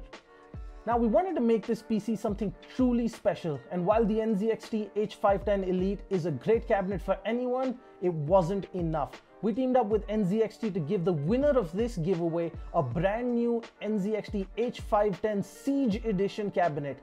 This is a limited edition licensed Rainbow Six Siege themed cabinet from NZXT. There are only 500 of these in the world and just a handful coming to India. The side panels of this cabinet are themed in the wall and door reinforcement designs from Rainbow Six Siege and there is an illuminated 6 icon on the front panel along with a 6 icon charm and a puck in the signature breach charge design which is only available with the H510 Siege. And one lucky winner on this giveaway is to get a full esports PC sitting inside this beautiful cabinet. Now that you know everything that there is in the giveaway, the question is how you can take part. Well, it's fairly simple. First, head on to the link in the description of this video. Once you're at the giveaway landing page, fill out your details and follow the instructions. First, head on over to Facebook, make sure you're following us. Two, make sure you're following the Esports Club on Instagram. And three, make sure you subscribe to us on YouTube. Simple so far. Now the interesting part. In a one minute video on Instagram, tell us why you deserve this epic new PC from the Esports Club and all our partners. Make sure you follow the instructions carefully, use the right hashtags, tag the right accounts, and you can be one step closer to winning this epic setup. Now that's it guys, just a little bit of work and you can be one step closer to getting yourself your dream PC. I'm Captain Arya and this is the Esports Club and we hope to see you in our next tournament.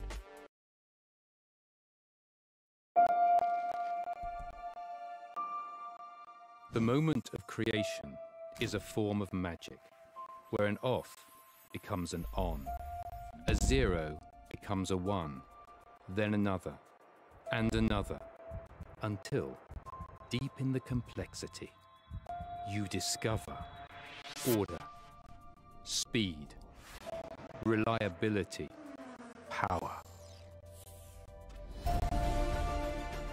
Experience the WD Black NVMe SSD.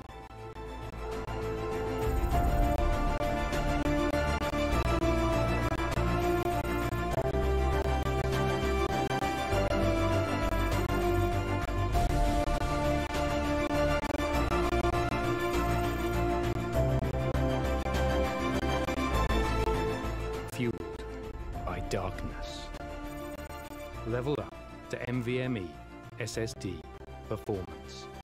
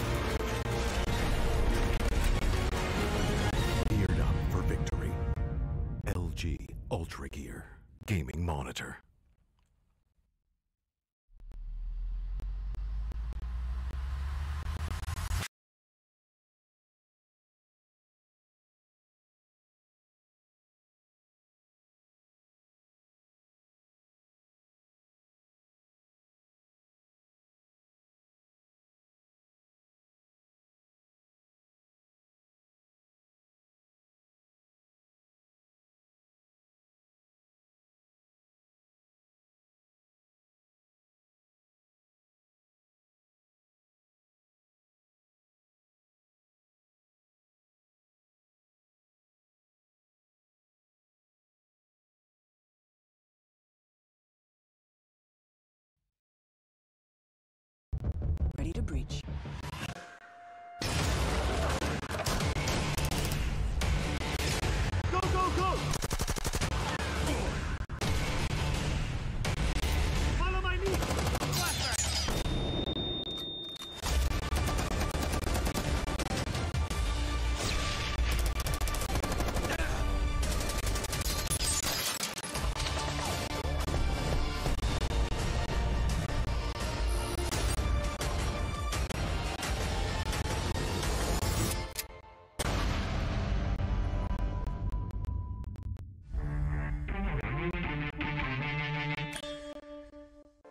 What's up, guys? Captain Arya from the Esports Club here, here with some pretty awesome news.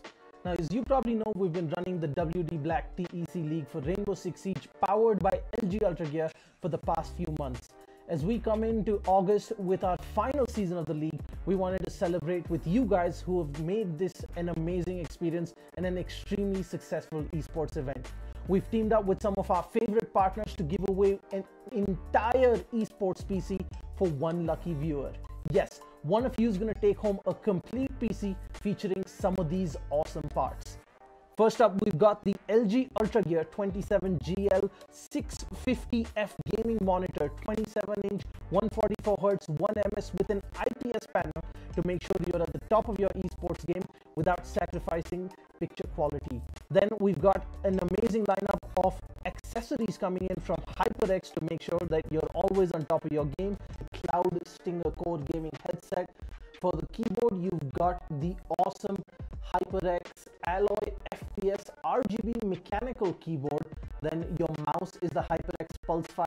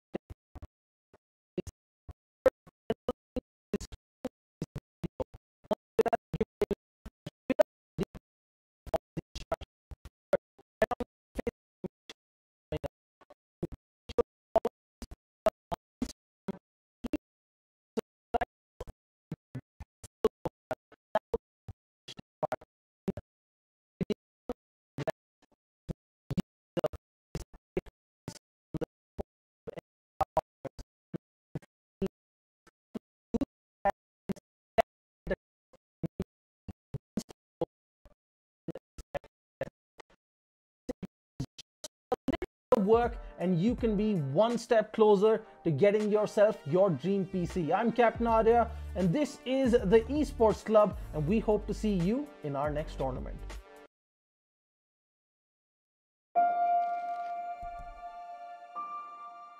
The moment of creation is a form of magic, where an off becomes an on, a zero becomes a one, then another, and another, until, deep in the complexity, you discover order, speed, reliability, power. Experience the WD Black NVMe SSD.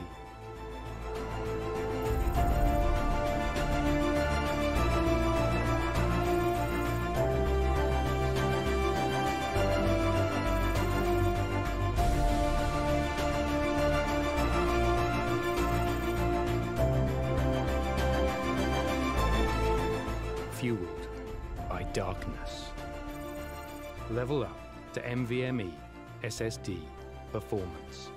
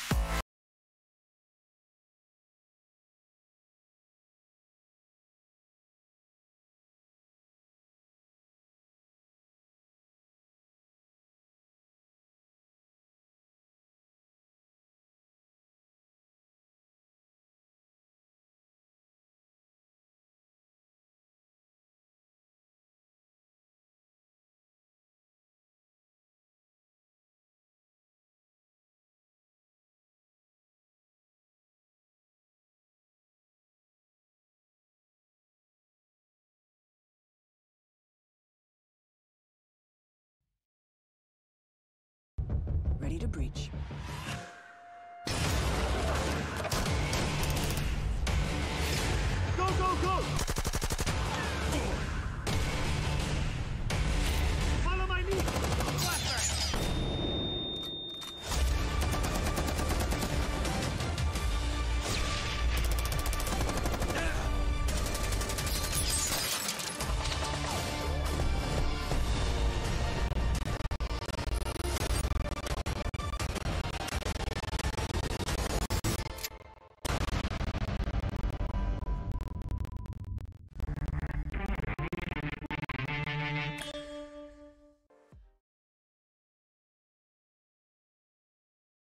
Alrighty then, ladies and gentlemen, welcome back to the W Black D Esports Club League for Rainbow Six Siege, powered by LG Ultra Gear in association with AC5 and Gaming and Games The Shop.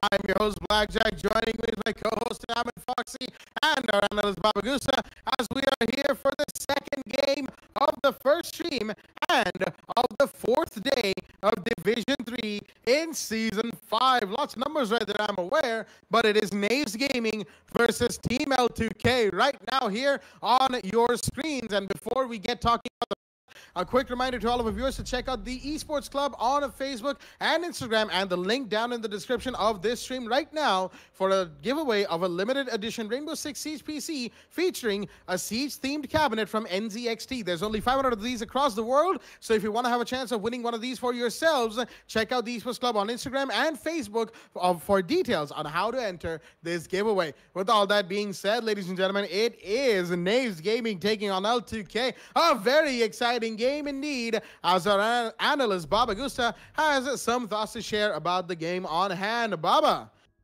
how are you today?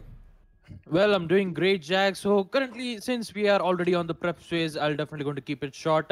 Naves Gaming, according to their leaderboards, 3 to 1. They've only lost against Team Saw on week 1 Clubhouse, where it was a score of 5 to 7. They've been performing really quite well, taking out uh, Sangfroid Esports and the other three important teams.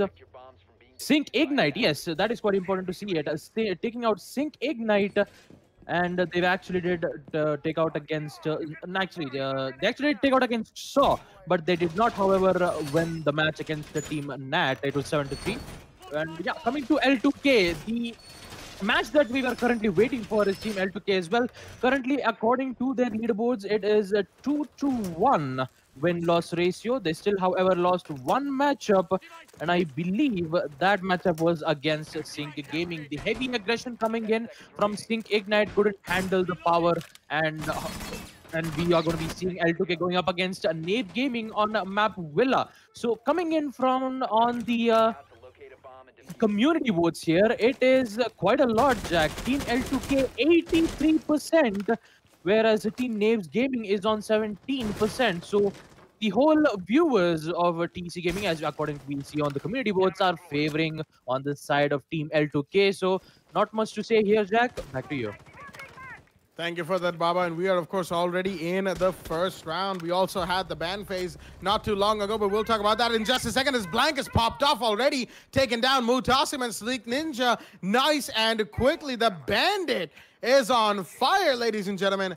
And he just did a massive, massive number. But the Jaeger on the second one is going to go down as the Hibana Nicoristo is going to collect that kill. And that's also a pretty big drop right there because that was the man himself, Rats, who was just dropped.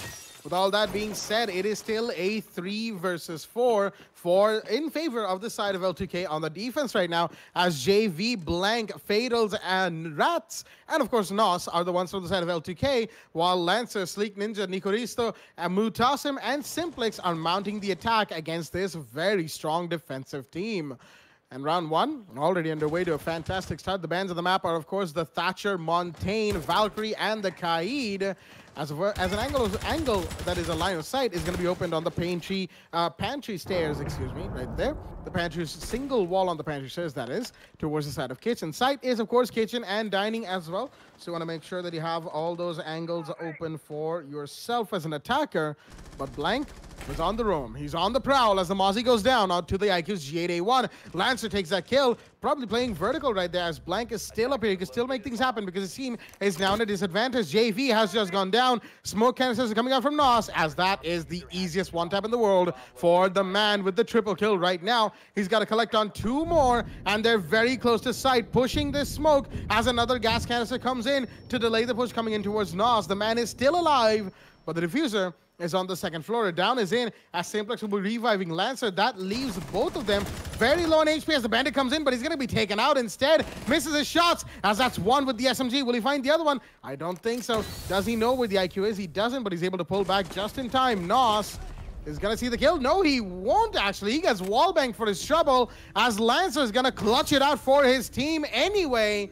And that is actually the round. Oh, that. You love to see that. Just whipping around on the other side of the reinforcement and taking the kill, giving the side of Knaves on the attack a rather fantastic start. It wasn't the best, you know, as uh, the bandit on the, the bandit in the room was whoo that was definitely something but regardless second for aviator in games is a site of a choice and we'll be moving on to round two right now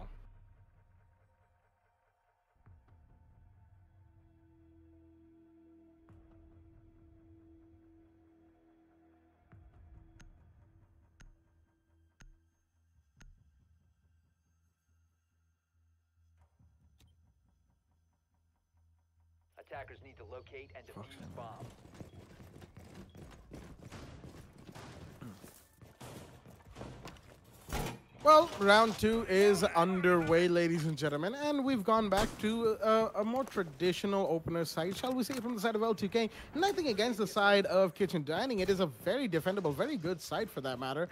But they've gone to second floor Aviator on round two after not being able to hold it, uh, hold down on it on round one.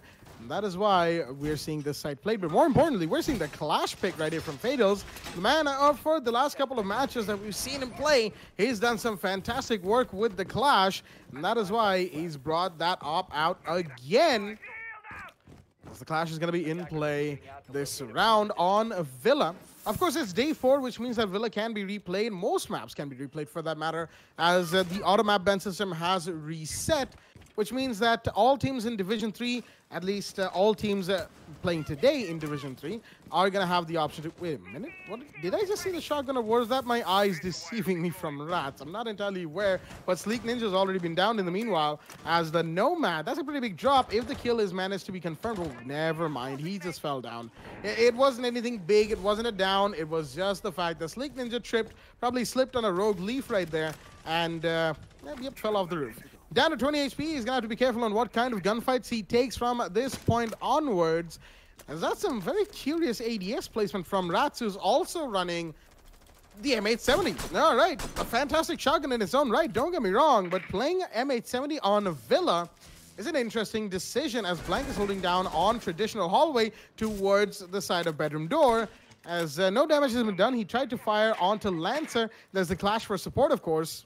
But the Zofia is in with the lifelines and is going to be trying to find to at least, you know, trying to at the very least make the Clash retract a shield, but that's an impact grenade. That's not going to do the job as the Clash is just going to pull back and come back strong.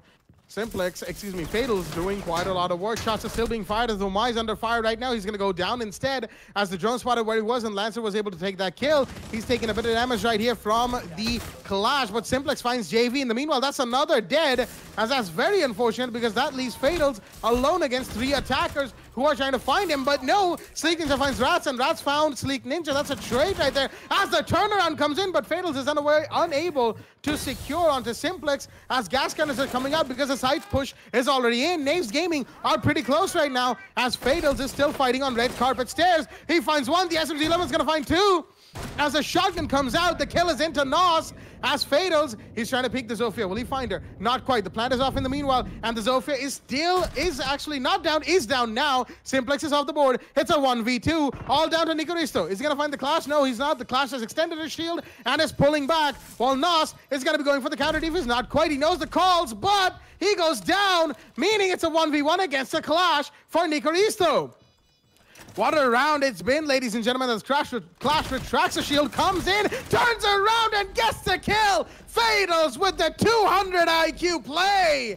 Is gonna take the kill onto the last standing Hibana and get to the defuser just before it crosses the point of no return, and that should be the counter defuse. It is L2K win round two. That was one hell of a round coming in from the side of Fatals. Gotta give it to the man. A 0.6 counter defuse. Uh, 0.6 second counter defuse, people. Amazing, amazing stuff from Fatals right there with the clutch coming in from him. With the clash plays, definitely not something I was expecting to turn out of this situation. Naves Gaming looked very strong taking round two as well, but just not just not able to fight the clash and clash definitely a huge a huge opponent in fact that L2K are not able to fight against. Honestly, it was just that the Clash outplaying two of the operators straight up. Amazingly well done for the side of L2K Fatals.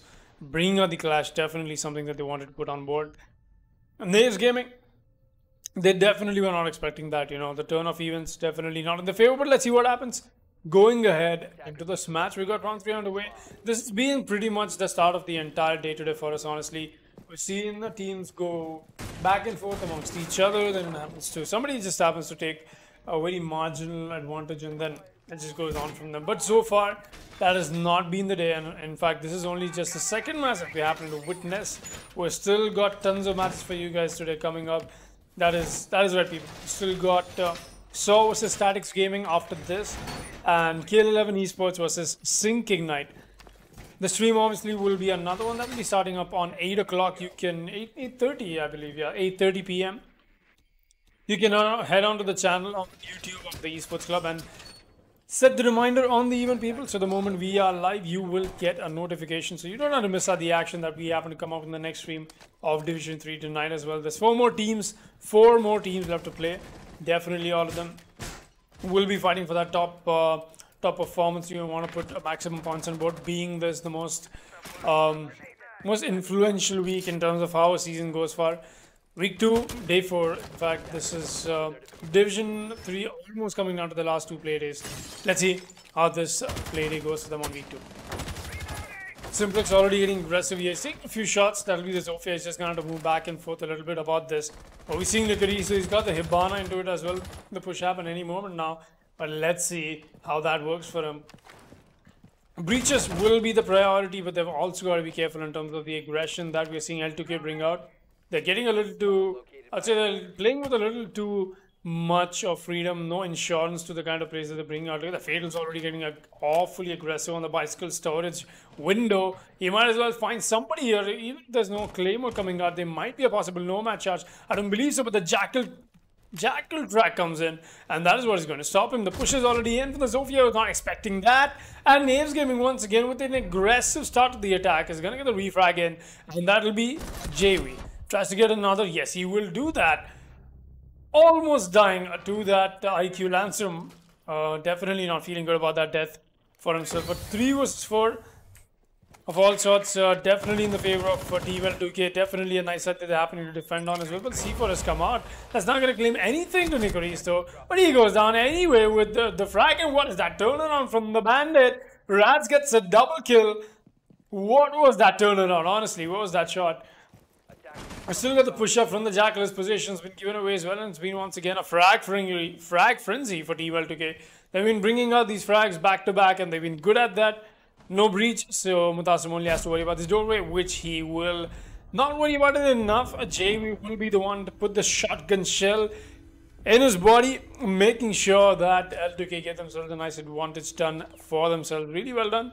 A good attack and a good turnaround from Naves Gaming, as we knew them before as U Sabers. Just not enough. Round four will be underway. We've got a one to two scoreline here. Let's see how things go down. How things boil down to? L2K definitely has had a good run, but not, not, a great run though. They still sit on the third spot. First one is um, on Nat. Second one, I just cannot remember. Let me take a quick look and let you guys know. Second one, uh, anyways, I'll, I'll just take a quick look at that. Meanwhile, round four will be underway in Blackjack. What are your thoughts about going ahead into this match? You got Villa, a really nice match, and a good change up as well in terms of how the pool was uh, going on in the recent days. And just like you mentioned, today is indeed the reset of the map pool uh, as we have the auto map pick and ban system coming in. So giving so much more freedom for the side of uh, both these teams to pick from a larger map pool. And yeah, Villa being the map, being these teams, who do you think has a chance about this? And also, I'm, I, I'm not sure if I caught the community votes myself, but I would love to know that as well. Just a little bit of that thrown around. I want to know what we are going into on round four, you know, with uh, everything that we have on our hands for these teams. Well, if you ask me, Foxy, Villa being the map that it is, it is, as we all know, a defender-sided map. And now that... Oh, oh, oh dear, looks like Blank is going to point out the fact that uh, Echo, that is Rats, is guilty of a little bit of a uniform mishap. Oh dear me, the side of Naves Gaming obviously want them the team kill right here to allow no rehost and go straight in. As of course, we'll be conferring with the admins about that. Well, it looks like there's a spawn peek coming in from the side of Blank, but who's he going to be spawn peeking first? His own teammate or the rest of Naves Gaming? Oh, nope, that's going to be the Frost to do that instead. Curiously enough, Fatals with the Frost, not the Clash, not any other operator, not a Jaeger, no my either. It's a Frost. Well, okay, pretty interesting decision from LTK. Just as you said, Foxy, you know, they're mostly doing a frag game, not really worrying too much about a utility. Playing off of intel and what little bit of utility these operators bring seems to have been enough, although Rats, unfortunately, will not be playing this round. Drones are going to be spotting where Blank's playing. That is the aviator room top, uh, aviator room door facing office. There's a shield here to help him, but the flashbangs are going to come in. Is he going to find Blank's face? No, it's not. Will the peak find Blank's face is the real question. There's a prone peak coming in. Is he aware? No, he is now, but that was a grenade, and he's going to go down as well. As Sleek Ninja is going to take that kill as Blank is off the board. It's a 3 versus 5 right now. A little unfortunate for the side of L2K, but they've still got one more roamer to deal with. That's the Frost out on the 90 hallway. Nomad slowly approaching Voltus as an Ash all the way to the other side of Classical Hallway, trying to find where Fatals is sitting. They don't have his exact position right now, but the clearance, of course, will let them know via process of elimination that there's a frost close by, at least on 90 hallway. There goes the smoke. Another one went down just earlier, meaning it's a 1 versus 5 for Fatals. He has to find five whole operators, and he's going to start by picking off the Ash, but there's the Nomad, comes around, ping, swings wide, excuse me, and the Sleek Ninja will take the final kill of the round, giving the side of Knaves Gaming the equalizer once again in the early game still as it is 2 to 2 going into round 5.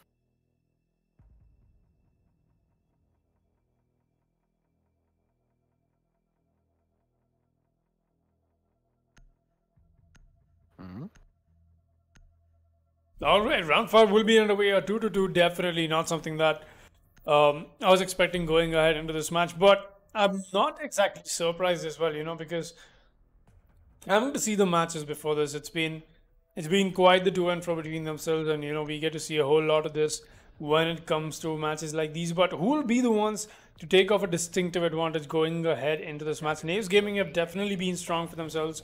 They've been more than just holding their own since the beginning of this league in Division Three, back and forth between Division Two as well. But they've never gotten relegated though. At least not not that I know of. Maybe they have. It's five long seasons. So much happening, but I knew for a fact that you Sabres have not been out of the out of the action, at least not in the league.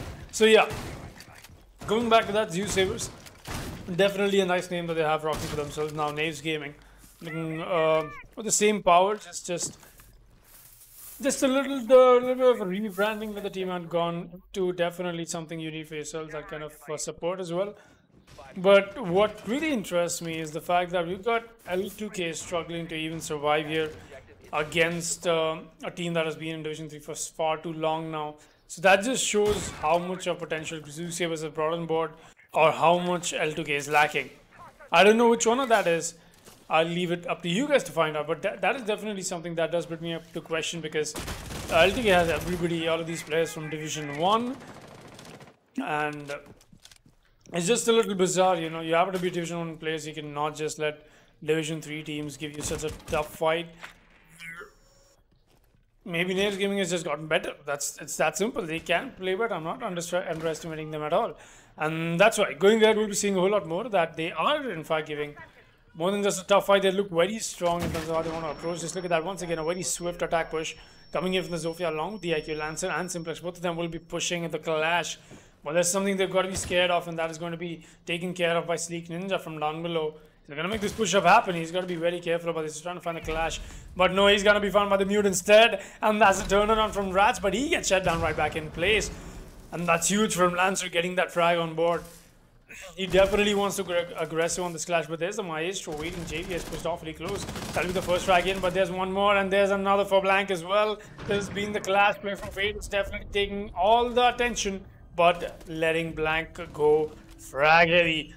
A triple comes in, kill comes in from the in fact, securing the round for L2K, and they've definitely heard me out, you know, taking it a little too personally. Team L2K says we are gonna go out, frag them in this match, in this round at least, is because that's what we like to do the most. L2K definitely a nice round for them, but maybe I'm I'm scared. Maybe it's a little too um, a little too frag dependent. What if uh, what if we see Naves Gaming picking that kind of uh, fashion up, you know, picking picking up that trend, picking up that strategy that they are trying to play in.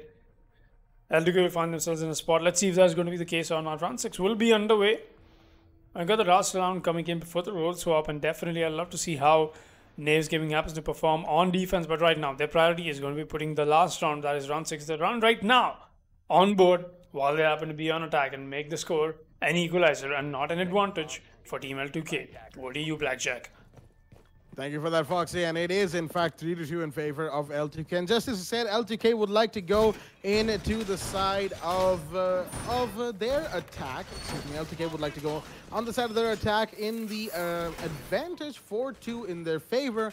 Naves Gaming, of course, they would like to equalize right here, right now, go into the defense at least with a couple rounds worth of cushioning in case they have a bad time starting off on defense. And um, pretty much that's how it goes. You know, on Villa, going onto the defense is an advantage regardless of how you look at it. Sure, maybe you could have that one isolated match or even a couple of matches where attackers win, but that is just competitive Rainbow Six as the general consensus is that Villa is a defender-sided map. That's probably not going to change anytime soon unless, I guess, Villa gets reworked, but that's a long ways away. Villa's a great map, ladies and gentlemen. As right now, round six is going to be underway. The action phase is in. The Hibana, Nicorista making... Well, actually, that's not Nicorista. That's the Sledge. That is uh, the Simplex right there. While Sleek Ninja makes his way towards the side of Veranda, along with the Zofia. Shots being fired all over the map. The side itself is actually Trophy's story. Aviator was just won by the side of L2K, as they will not have to worry about going back there, at least for the time being, unless this game goes to overtime. And now only their roamers will be playing around towards the side of AVG, at least close to AVG, and maybe one or two players down below. Oh, there we go. The prone peeks in from the Jaeger. There's the Vigil inside of Vault as well. Blank, along with Rats, holding down AVG as best as they can. They've even got to rotate here on Vault just to make sure that they have all the angles that they need for themselves. Of watching that office doorway but that's one office has two doorways. One of them, of course, leads out to the hallway. Classical hallway. The Vigil's been spotted, and he's about to be pushed. Rats, he's got to be careful of where his position is, but no, they're coming back to the office door of Aviator, and will they be found by one of these defenders? Not quite. They're still droning. There's two attackers right there. The Zofia and the Nomad want to make sure that this push, if they make it, is going to be as um, as heavy on intel as possible as one of the drones is going to escape from Ratz's Wrath. He's got to be careful as he's now pushed farther into vault. His position is known. There are a couple of attackers fo uh, focusing on his position right now. There's a Jaeger to try and help him out in this situation, and he will actually find one. Sleek Ninja goes down. That is your Nomad. That's a huge drop right there as Mutasim is going to swing wide, but Nos is going to find Lancer. In the meanwhile, shots are being fired as there was a little line of sight that Mutasim was unaware of, and he's taking so much damage. Simplex is going to find Blank in the meanwhile, dropping the Jaeger. That's one big, big drop. The Carbine is no longer in play. More importantly, that's Blank off the board. It is a 3 versus 4, making that a 2 versus 4. The Sledge was unaware of where Rats was playing, unfortunately. He's going to be taken off the board, leaving Mutasim, and only Mutasim, as the Hibana drops, just as I was about to call out his position, and Fatals is going to make sure I don't get that chance. Mutasim, the Zofia, the last one remaining, peaked and taken out on the astronomy stairs. Nos swings wide with the SMG-11, takes that kill, and gives the side of L2K round 6 as going into round 7 roll swap. L2K will be able to fulfill their desire of going advantage on roll swap. It is 4-2 in their favor. Round 7 is going to be underway.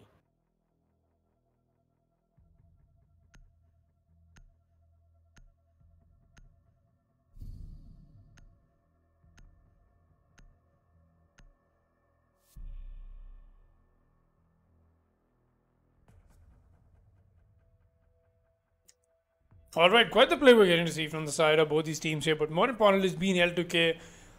You know, depending a whole lot in terms of the gunfights, they're definitely getting a little too aggressive sometimes, bringing on some as far as you know, being patient about it at the same time as well. So, right now, I think what L2K is trying to go for is they want to bring out a little bit of a quicker meta. You know, try and finish out rounds and overwhelm gaming a little bit. And that's why I like the lineup from the side of L2K as well. JV running the line. We've got Rats on the Ash. We've got Fatals on the Blitz. And Nos on IQ. Definitely a great lineup. It looks like they want to get a little more frag heavy. You know, try try and play, try and play the, to their strengths basically. But on the other side, other side of the defense, look at this. I got Simplex winning the Jaeger while we've got Mutasim anti-intel. Very important for stopping any kind of a, initial rush as well. We got Nicolisto on the Wamai. Lancer and Sleek the main the main heroes here. You're gonna get the Goyo and the Legion in. That's right. It's gonna do so much more denial in terms of map control that they can bring out. And Simplex already gonna find a kill on the blank. Where did that come out of? I'm not sure. Is that a spawn peak? Did blank just get deleted? Yes, he did. Look at that. Rappel did not go well for him. Definitely is regretting that out. Meanwhile, there's a fight that he's taking here. That might be the Blitz and Fatals will be the one to take that kill very gladly, in fact. I'm still seeing Nicaristo re-engage on the same angle, but the flank from Simplex will get caught out as well. Nicaristo wants to get that frag onto the Blitz. He's going to get that anyway. Oh, what? JV, what was he doing? The push-up came in, but Nicaristo just deleted him. Good night, JV. I'm not sure what JV was thinking, honestly. That was one hell of a shot from Nicaristo. Somehow that connected. Somehow that happened. Alright. I was confused for a second myself on what just happened. Anyways, Rats and the Nos will be the ones uh, the ones left in a 2 versus 4 right now. Double the man count. Make that make that a whole lot more in the favor of Knaves Gaming. It's all on Nos now. The IQ is to push up. Going to find the Goyo though. I'm to find the Goyo. He's to see the Goyo for the moment. Not to find him yet. Or maybe never. You're seeing some pre-fast coming from the top of the sofa. As we like to call it. The top of the main we've got that little elevation for yourselves. I'll still be watching that angle. He's getting tagged along from multiple angles. Jonas is definitely looking very bad right now. And there's a push-up from the Jaeger. And that'll be the kill for Simplex. Simply put, amazingly put, amazingly well played from the side of Knaves Gaming. Um, let's see what we got ourselves going ahead into this round because now it had a disconnection from blank. That is sad. Uh, that is usually usually sad for team live to kill. But now let's see how they can stay alive with only four members on board. We got trophy and statue room coming in from the side of the defense from Naves Gaming and. Right now, Altic sit on fourth spot while Naves Gaming sit on third spot. Winning this, Naves will be putting themselves on a better position while Team L2K will get pushed further down into the league. Let's see what have what we've got for ourselves. Round 8 will be underway. 4 to 3 is indeed the scoreline. And the equalizer might as well be into place from the side of Knaves. It is only a flimsy one round lead from the side of team L2K. A one round lead that lead, excuse me, that's about to be challenged even farther from the side of Knaves Gaming. As of course, L2K have just lost a blank, and that is very, very unfortunate. But power issues and whatnot, they are the bane of anybody trying to play competitive Rainbow Six. Let me tell you, ladies and gentlemen, competitive games just in general and uh, being our region as it is, uh, yeah, it's not really surprising that there's a power issue once again, as uh, it, players have been plagued with that for a while now. Hopefully it gets better soon-ish. We'll, we'll find out in the coming days. But that is, of course, besides the point, a vague future is uh, is going to have to be left to its own devices, as the present is what we focus on. Knaves Gaming, 3-4 down against L2K. L2K, one man down without even losing a body. Round 8 is in play. And just as we said, it's a flimsy little one-round lead that L2K have. They want to make sure that they get more rounds on board for themselves, while the side of Knaves, they want to make sure that they have as much... Uh, they get as much uh, as much frags, as many frags as they need right now, and get as many rounds on board for themselves as they possibly can. Mutasim finishing up the reinforcements towards the side of the games room as flashbangs are in. Mutasim, he's gonna take a flashbang, but he's still, he wasn't fully blind either, but the shield and the alibi that were there before on the AVG door are no longer there this time. JV pushing the side of bedroom. He's got to be careful of somebody playing inside of the closet while Fatals is going to be pushing it with the IQ towards the side of classical hallway. Maybe to try and find where this alibi is playing. Unfortunately, that's not her. That is just a Prisma.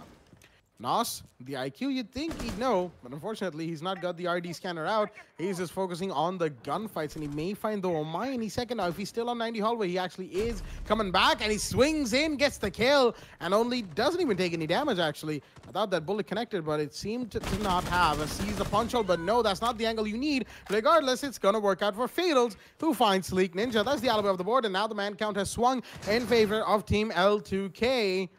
As Nicaristo, Simplex, and Lancer are the only ones remaining. Lancer actually finds one. Rats is off the board. Was that a one-tap? I'm not sure. Didn't even hear that many bullets go out as the Ash is down. Three versus three is the score line.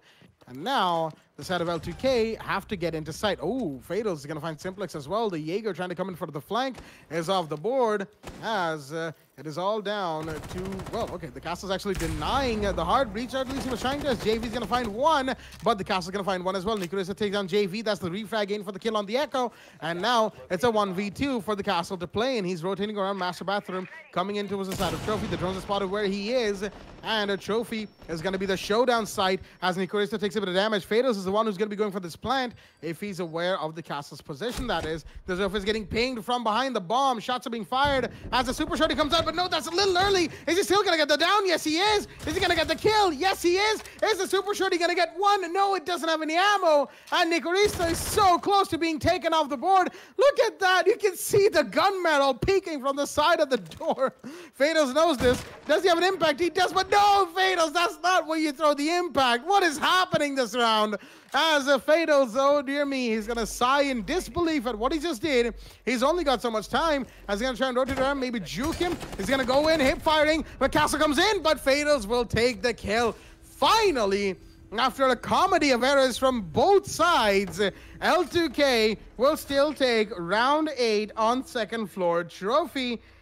And oh boy, what a oh, what a finishing that was to the round, ladies and gentlemen, as it is now 5 to 3 in favor of Team Live to Kill on round 9.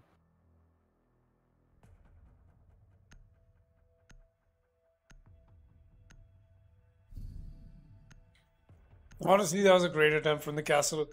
he did his best, just could not walk out of that little corner. He knew that, and the Fields knew that as well. Got the clutch in well and good. But that was one hell of a round. Honestly, that was one hell of a round. Team Live to Kill looks like they are not really banking on.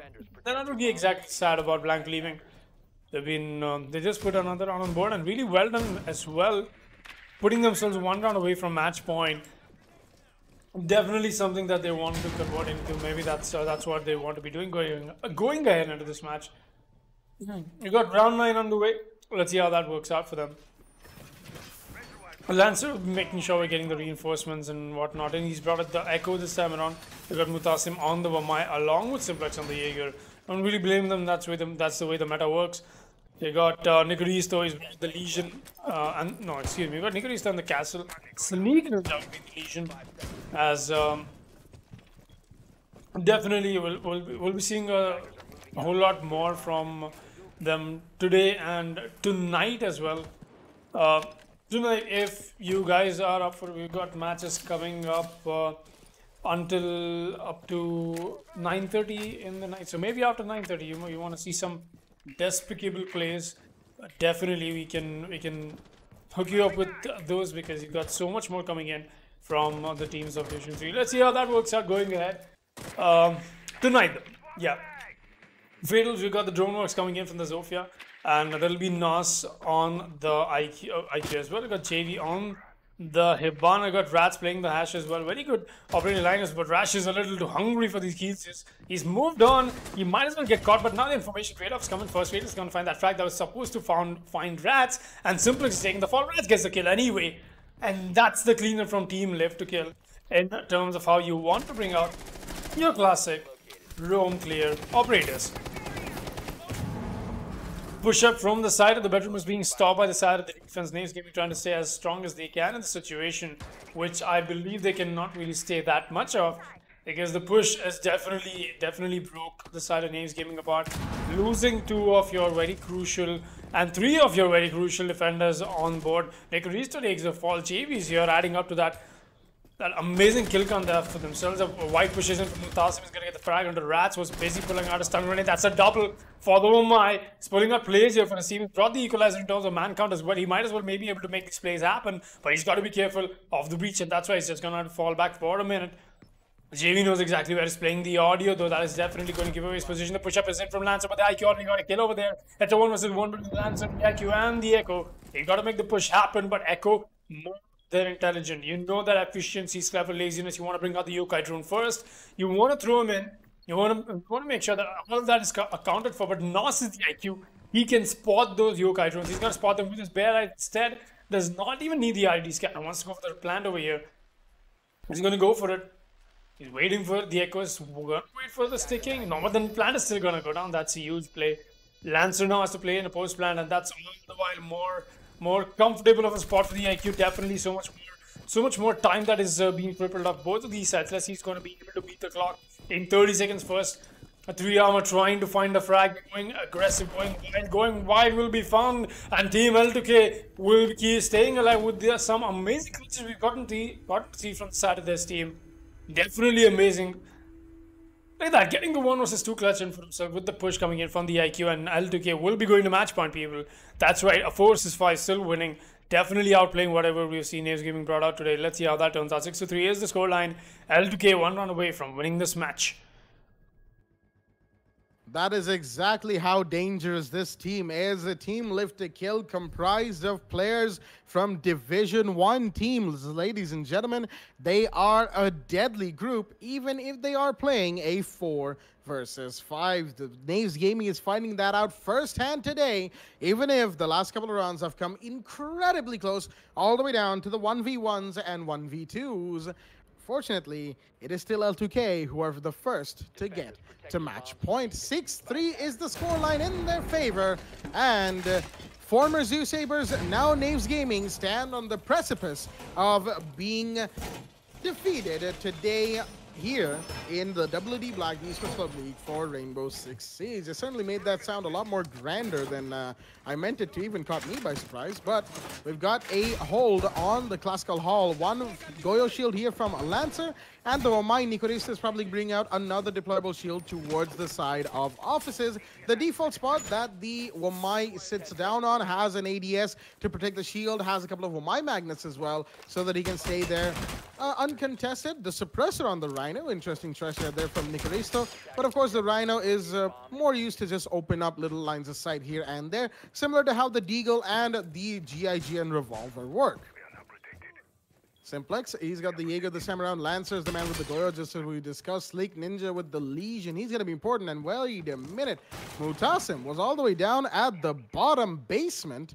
It's pretty interesting right there. We normally see a Pulse play down here, but no Pulse in play from Naves. They're going to be playing the Bandit as uh, there's going to be a Claymore from Fatals. Is that going to cover it? I don't think so. Oh, it does. All right. Pretty interesting right there. The last uh, the last laser, that's all you need, really, as a Fatal. Speaking of him, he's going to make a line of sight on the red carpet hallway down below to make sure that he gets all the kills on any flankers in that particular area.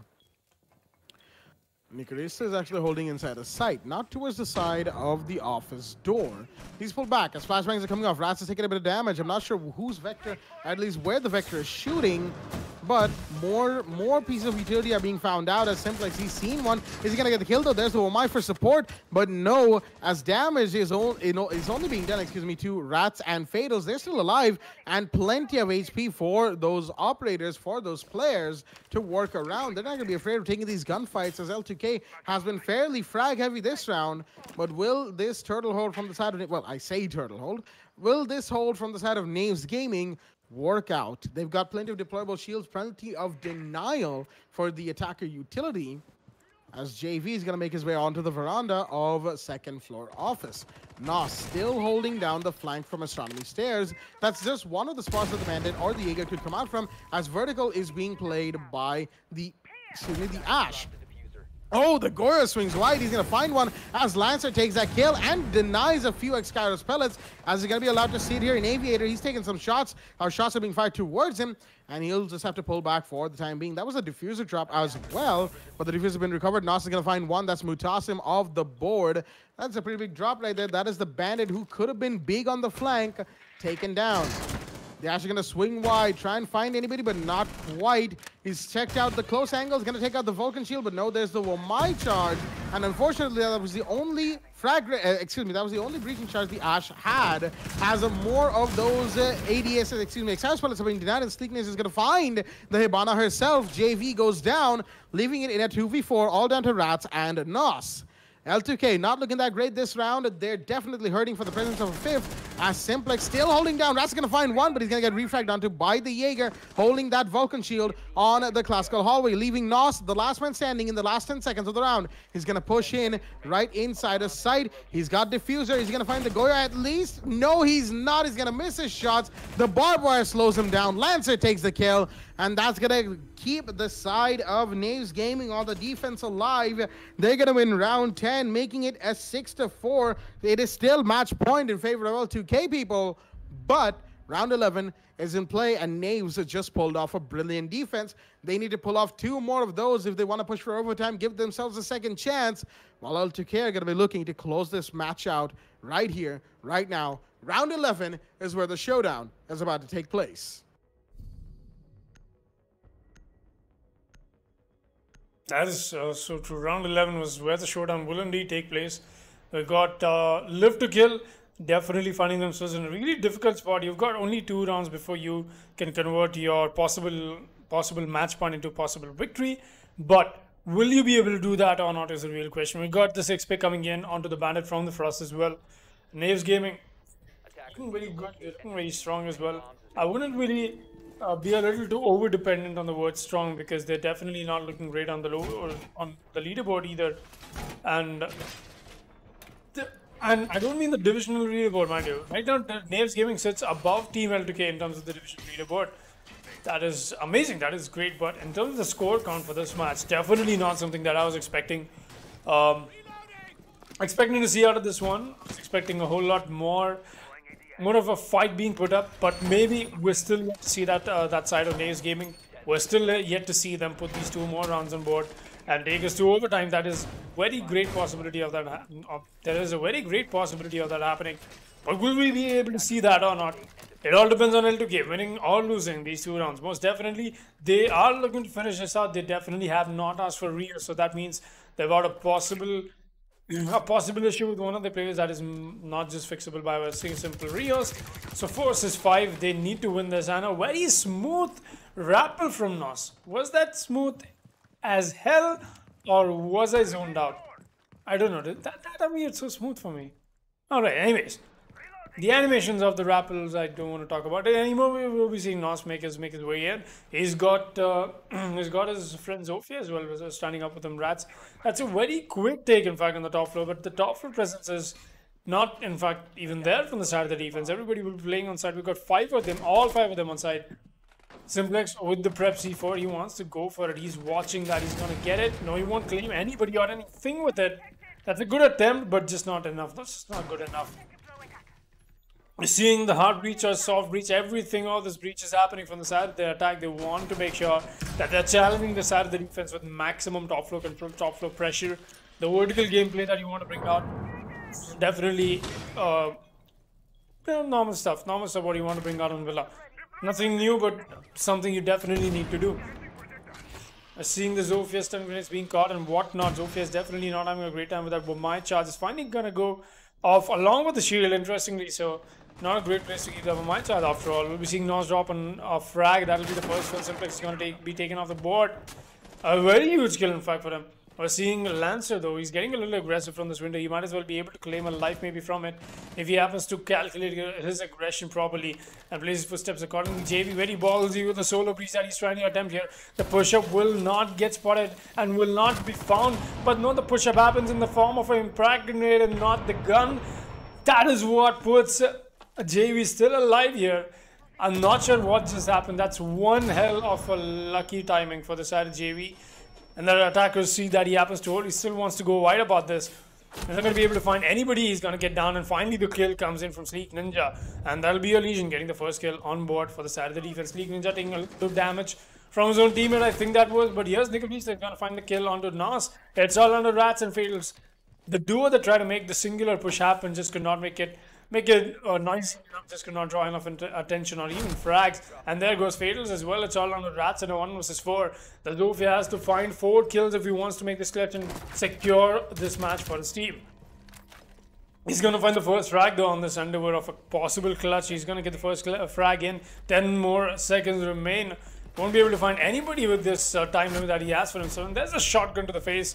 And there'll be all the shells emptied in the body of the Zofia. Because it'll be Naves Gaming getting themselves another breather before they happen to get the equalizer in for the match point situation that Live to Kill has happened to put themselves up in round 12 will be underway and now we're one round away from L2K winning this match and one round away from Naves Gaming taking us to overtime.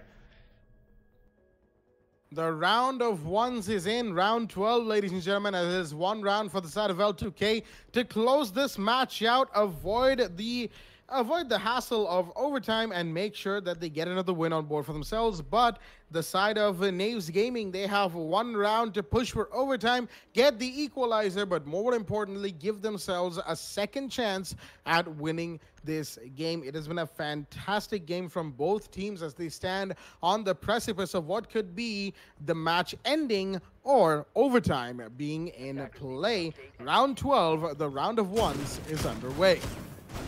We've got the hold coming out on the side of second floor trophy from the side of Naves Gaming. They've come back to this site after uh, yeah, after not having the best of times on second floor trophy, but they've won Aviator and Kitchen back to back, and they don't want to attempt Library. Of course, nobody wants to attempt Library, so they've decided to come back here on the second floor. Excuse me, right there. Uh, trophy room site, trophy and Statuary site. That is.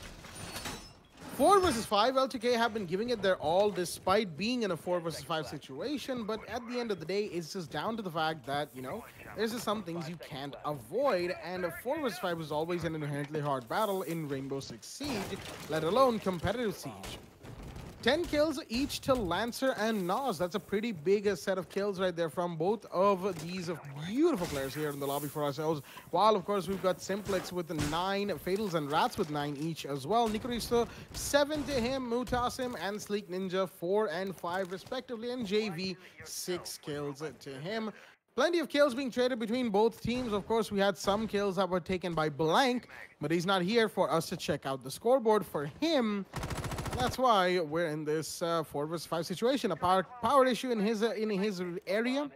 That's why he's not able to join us for the rest of this game. Fatals pushing up on towards landing nice and quickly, meeting zero resist resistance, excuse me, from the side of the defense. He's going to put down a claimer on the red carpet stairs and going to pull back up with the lifeline. No, not quite. He's going to see the castle barricade. He's going to see a regular barricade. Takes out the regular one instead, interestingly enough. There is somebody playing towards the side of astronomy that he's got to be careful of, and the Twitch comes in with a breach charge to take out the castle barricade here towards the landing side. Almost takes some damage, rats, mind you from the peak from the Wamai, the prone peak that is underneath the castle barricade, but his position is going to be giving way. So is the mute and the echo. I don't think he saw the echo, the Fatals right there. He's going to slowly pull in. He's got to be careful of that. He sees that Wamai magnet. Unfortunate deployment right there, as Wamai knows exactly where he is. Trying to peek at head level Fatals. He's just pre-firing it a little bit to scare the Wamai, but Mutasim is undeterred. Takes out the Twitch drone as ADSs are being burned by the Zofia who's trying to who's trying to make sure that he can get a entryway cleared for the side of these defend excuse me these attackers. The defenders holding strong right now. Naves Gaming not giving up regardless of the kind of push coming in from the side of L2K as Mutasim still strong on Statuary. He's still being allowed to play here. And of course, JV, he tried to go for the hard breach on the bedroom wall. Unfortunately, was not able to. Flashbangs being thrown in, getting denied by Wamai Magnus. It's even more Wamai Magnus come in. And as the Zofia pushed in, she has as the Echo's going to go down. That was an unfortunate peek from the side of Nicoris as Mutasim goes down as well. Fatals are going to start things off along with Nos, but Rats goes down to Sleek Ninja. In the meanwhile, there's a Jaeger to try and equalize things, and he has, but the 3 vs 3, how long is it going to stay that way? Not long. JV finds one, Simplex finds one as well. Nos and Sleek Ninja go down, and there goes the castle inside of Closet. It's a 1v2, all down to Simplex, the last man standing, and now Fatals has to go for the plant, but there isn't enough cover from the Hibana, not just yet. They've got just enough time to make this play happen, to make sure that the hard breach is done. Simplex is inside of Trophy. He's trying to find somebody inside of Statuary, the planter, but Fatals, he's got covered behind the Statuary entryway, and he's going to get the plant off, and the shots as well from JV as L2K. They had a couple of scary rounds right there, but they will still win it out here on the map of Villa on the second match of the first half of the WD Black Esports Club League for Rainbow Six Siege Division 3, Day 4. Many, many numbers right there. Lots of words being thrown around, but indeed, L2K are your winners here on Villa, 7 to 5, making it the second 7 to 5 of the day. But before we close out this first stream, ladies and gentlemen, we're going to have um, Baba Guster, our analyst, come in for his thoughts on the match. Baba, the mic is yours. Wow, I, I just did not expect to see that coming, knowing for the fact that they had around, it was basically a 4v5 situation there. Uh, due to a blank having some serious power cut issues. But damn, I did not expected them to win a uh, 45 situation, and that too on attack on map Villa. Attacking in the game of Siege is not that easy as you think, and L2K just proves to be effective. And uh, wh- when I talk about frags, I have to definitely talk about uh, the last round in which Nicaristo makes his one little mistake that he did on astronomy, where he tried to hold an angle from the hatches, did not see Nos holding up an angle from the landing group. Eventually, getting that open frag pushes in. Even the Zofia also does the same, getting that control on the side of Statuary Room. That was uh, uh, that was a huge adrenaline rush coming on the side of L2K, and finally winning that out. They should be, you know, happy about it, and that's how dominant that they are on Division 3. Just imagine how well that they're going to be performing on Division 2 or 1. That is going to be absolutely extraordinary there. Uh, coming to uh, coming on the side of Naves Gaming, yes, they did had a lot of uh, problems to deal with, but uh, I still have to give a lot of appreciation to Lancer when he was on the attack playing as the IQ, the L8. No, the L8 is from this let's the G8 LMG.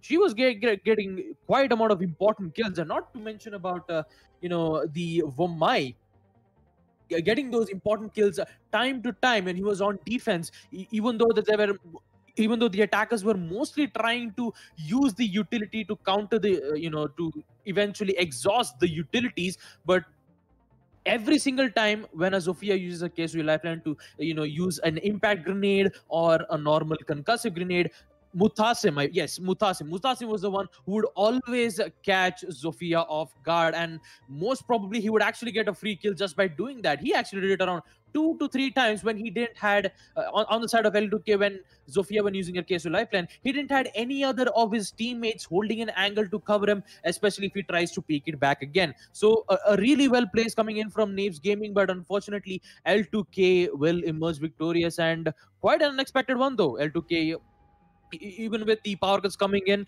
you know, uh, blank uh, the, uh, on the starting amount of rounds, we actually did see, you know, blank going up with an early spawn peak, uh, getting those two important kills. But uh, you know, laser on the other side, I, I believe yes, it was Lancer. Uh, who was there to recover it out? It, it was really uh, it was really great. And also on round five, uh, Rats taking out Sleek Ninja from above when he was playing as the mute on the side of Statuary Room. That was really amazing, dude. No one it's it's not that easy to use the uh, to use an smg 11 which has low magazine capacity. It has high rate of fire but it has uh, you know high rate of fire problems with recoil controls but somehow takes out the nomad from below in which they were actually kind of made an angle to take out clash but it actually you know it worked out quite the opposite so yeah that's uh, basically it from my analyst desk uh, jack that's all i have Thank you very much for that, Baba. The analysis of the game, as always, as we've had a couple of games here, ladies and gentlemen. In this stream, on the first game, Cafe was the map, and Nat were the victors against Sangfroid Esports, continuing their winning streak, 75 for them. While the match that we just had, Villa of with Naves Gaming versus Team L2K. L2K, they had some issues. A couple of rounds could have gone the other way here or there, but they still managed to win 7-5 as well. As we're going to be closing out this first stream and coming back with the second one in just a little bit. We'll be right back with that. Stay tuned, everybody.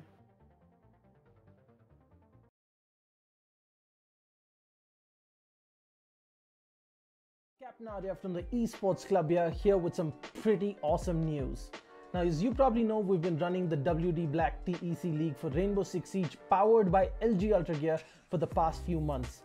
As we come into August with our final season of the league, we wanted to celebrate with you guys who have made this an amazing experience and an extremely successful esports event. We've teamed up with some of our favorite partners to give away an entire esports PC for one lucky viewer. Yes, one of you is going to take home a complete PC featuring some of these awesome parts.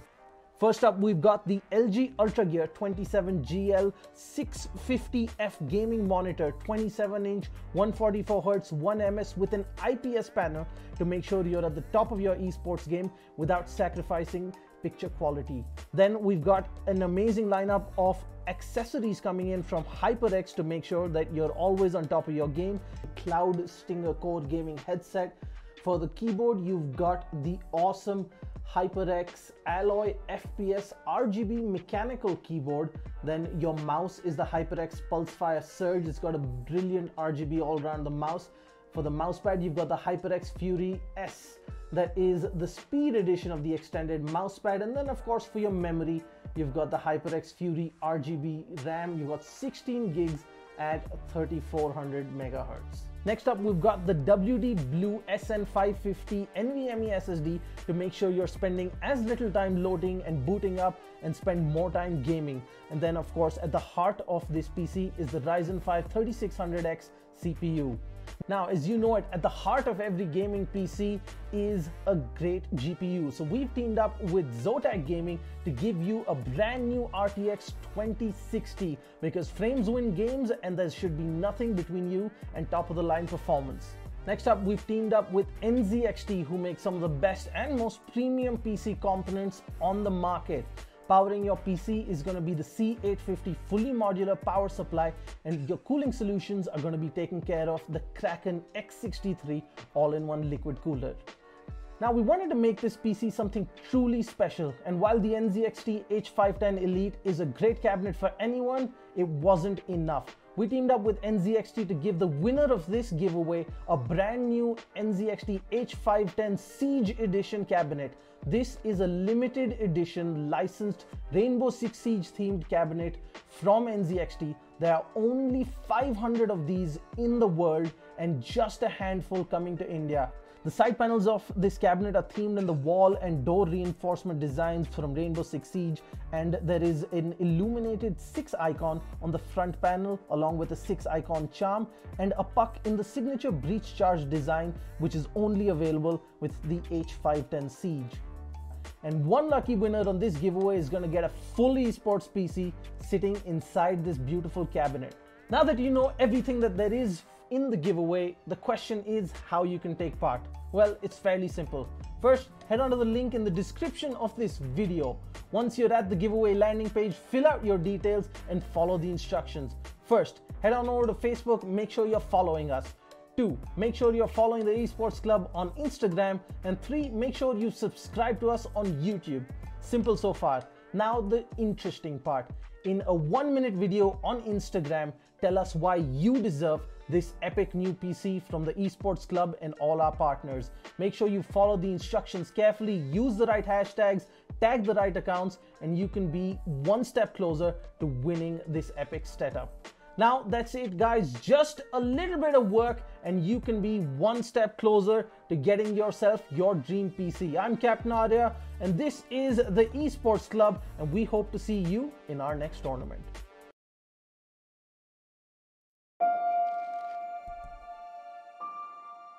The moment of creation is a form of magic, where an off becomes an on, a zero becomes a one, then another, and another, until, deep in the complexity, you discover order, speed, reliability, power.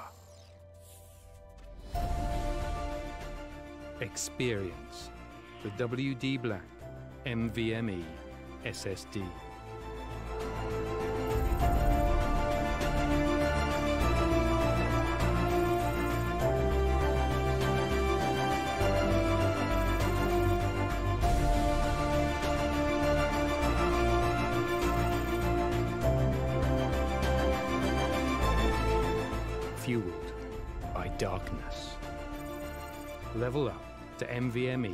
SSD performance.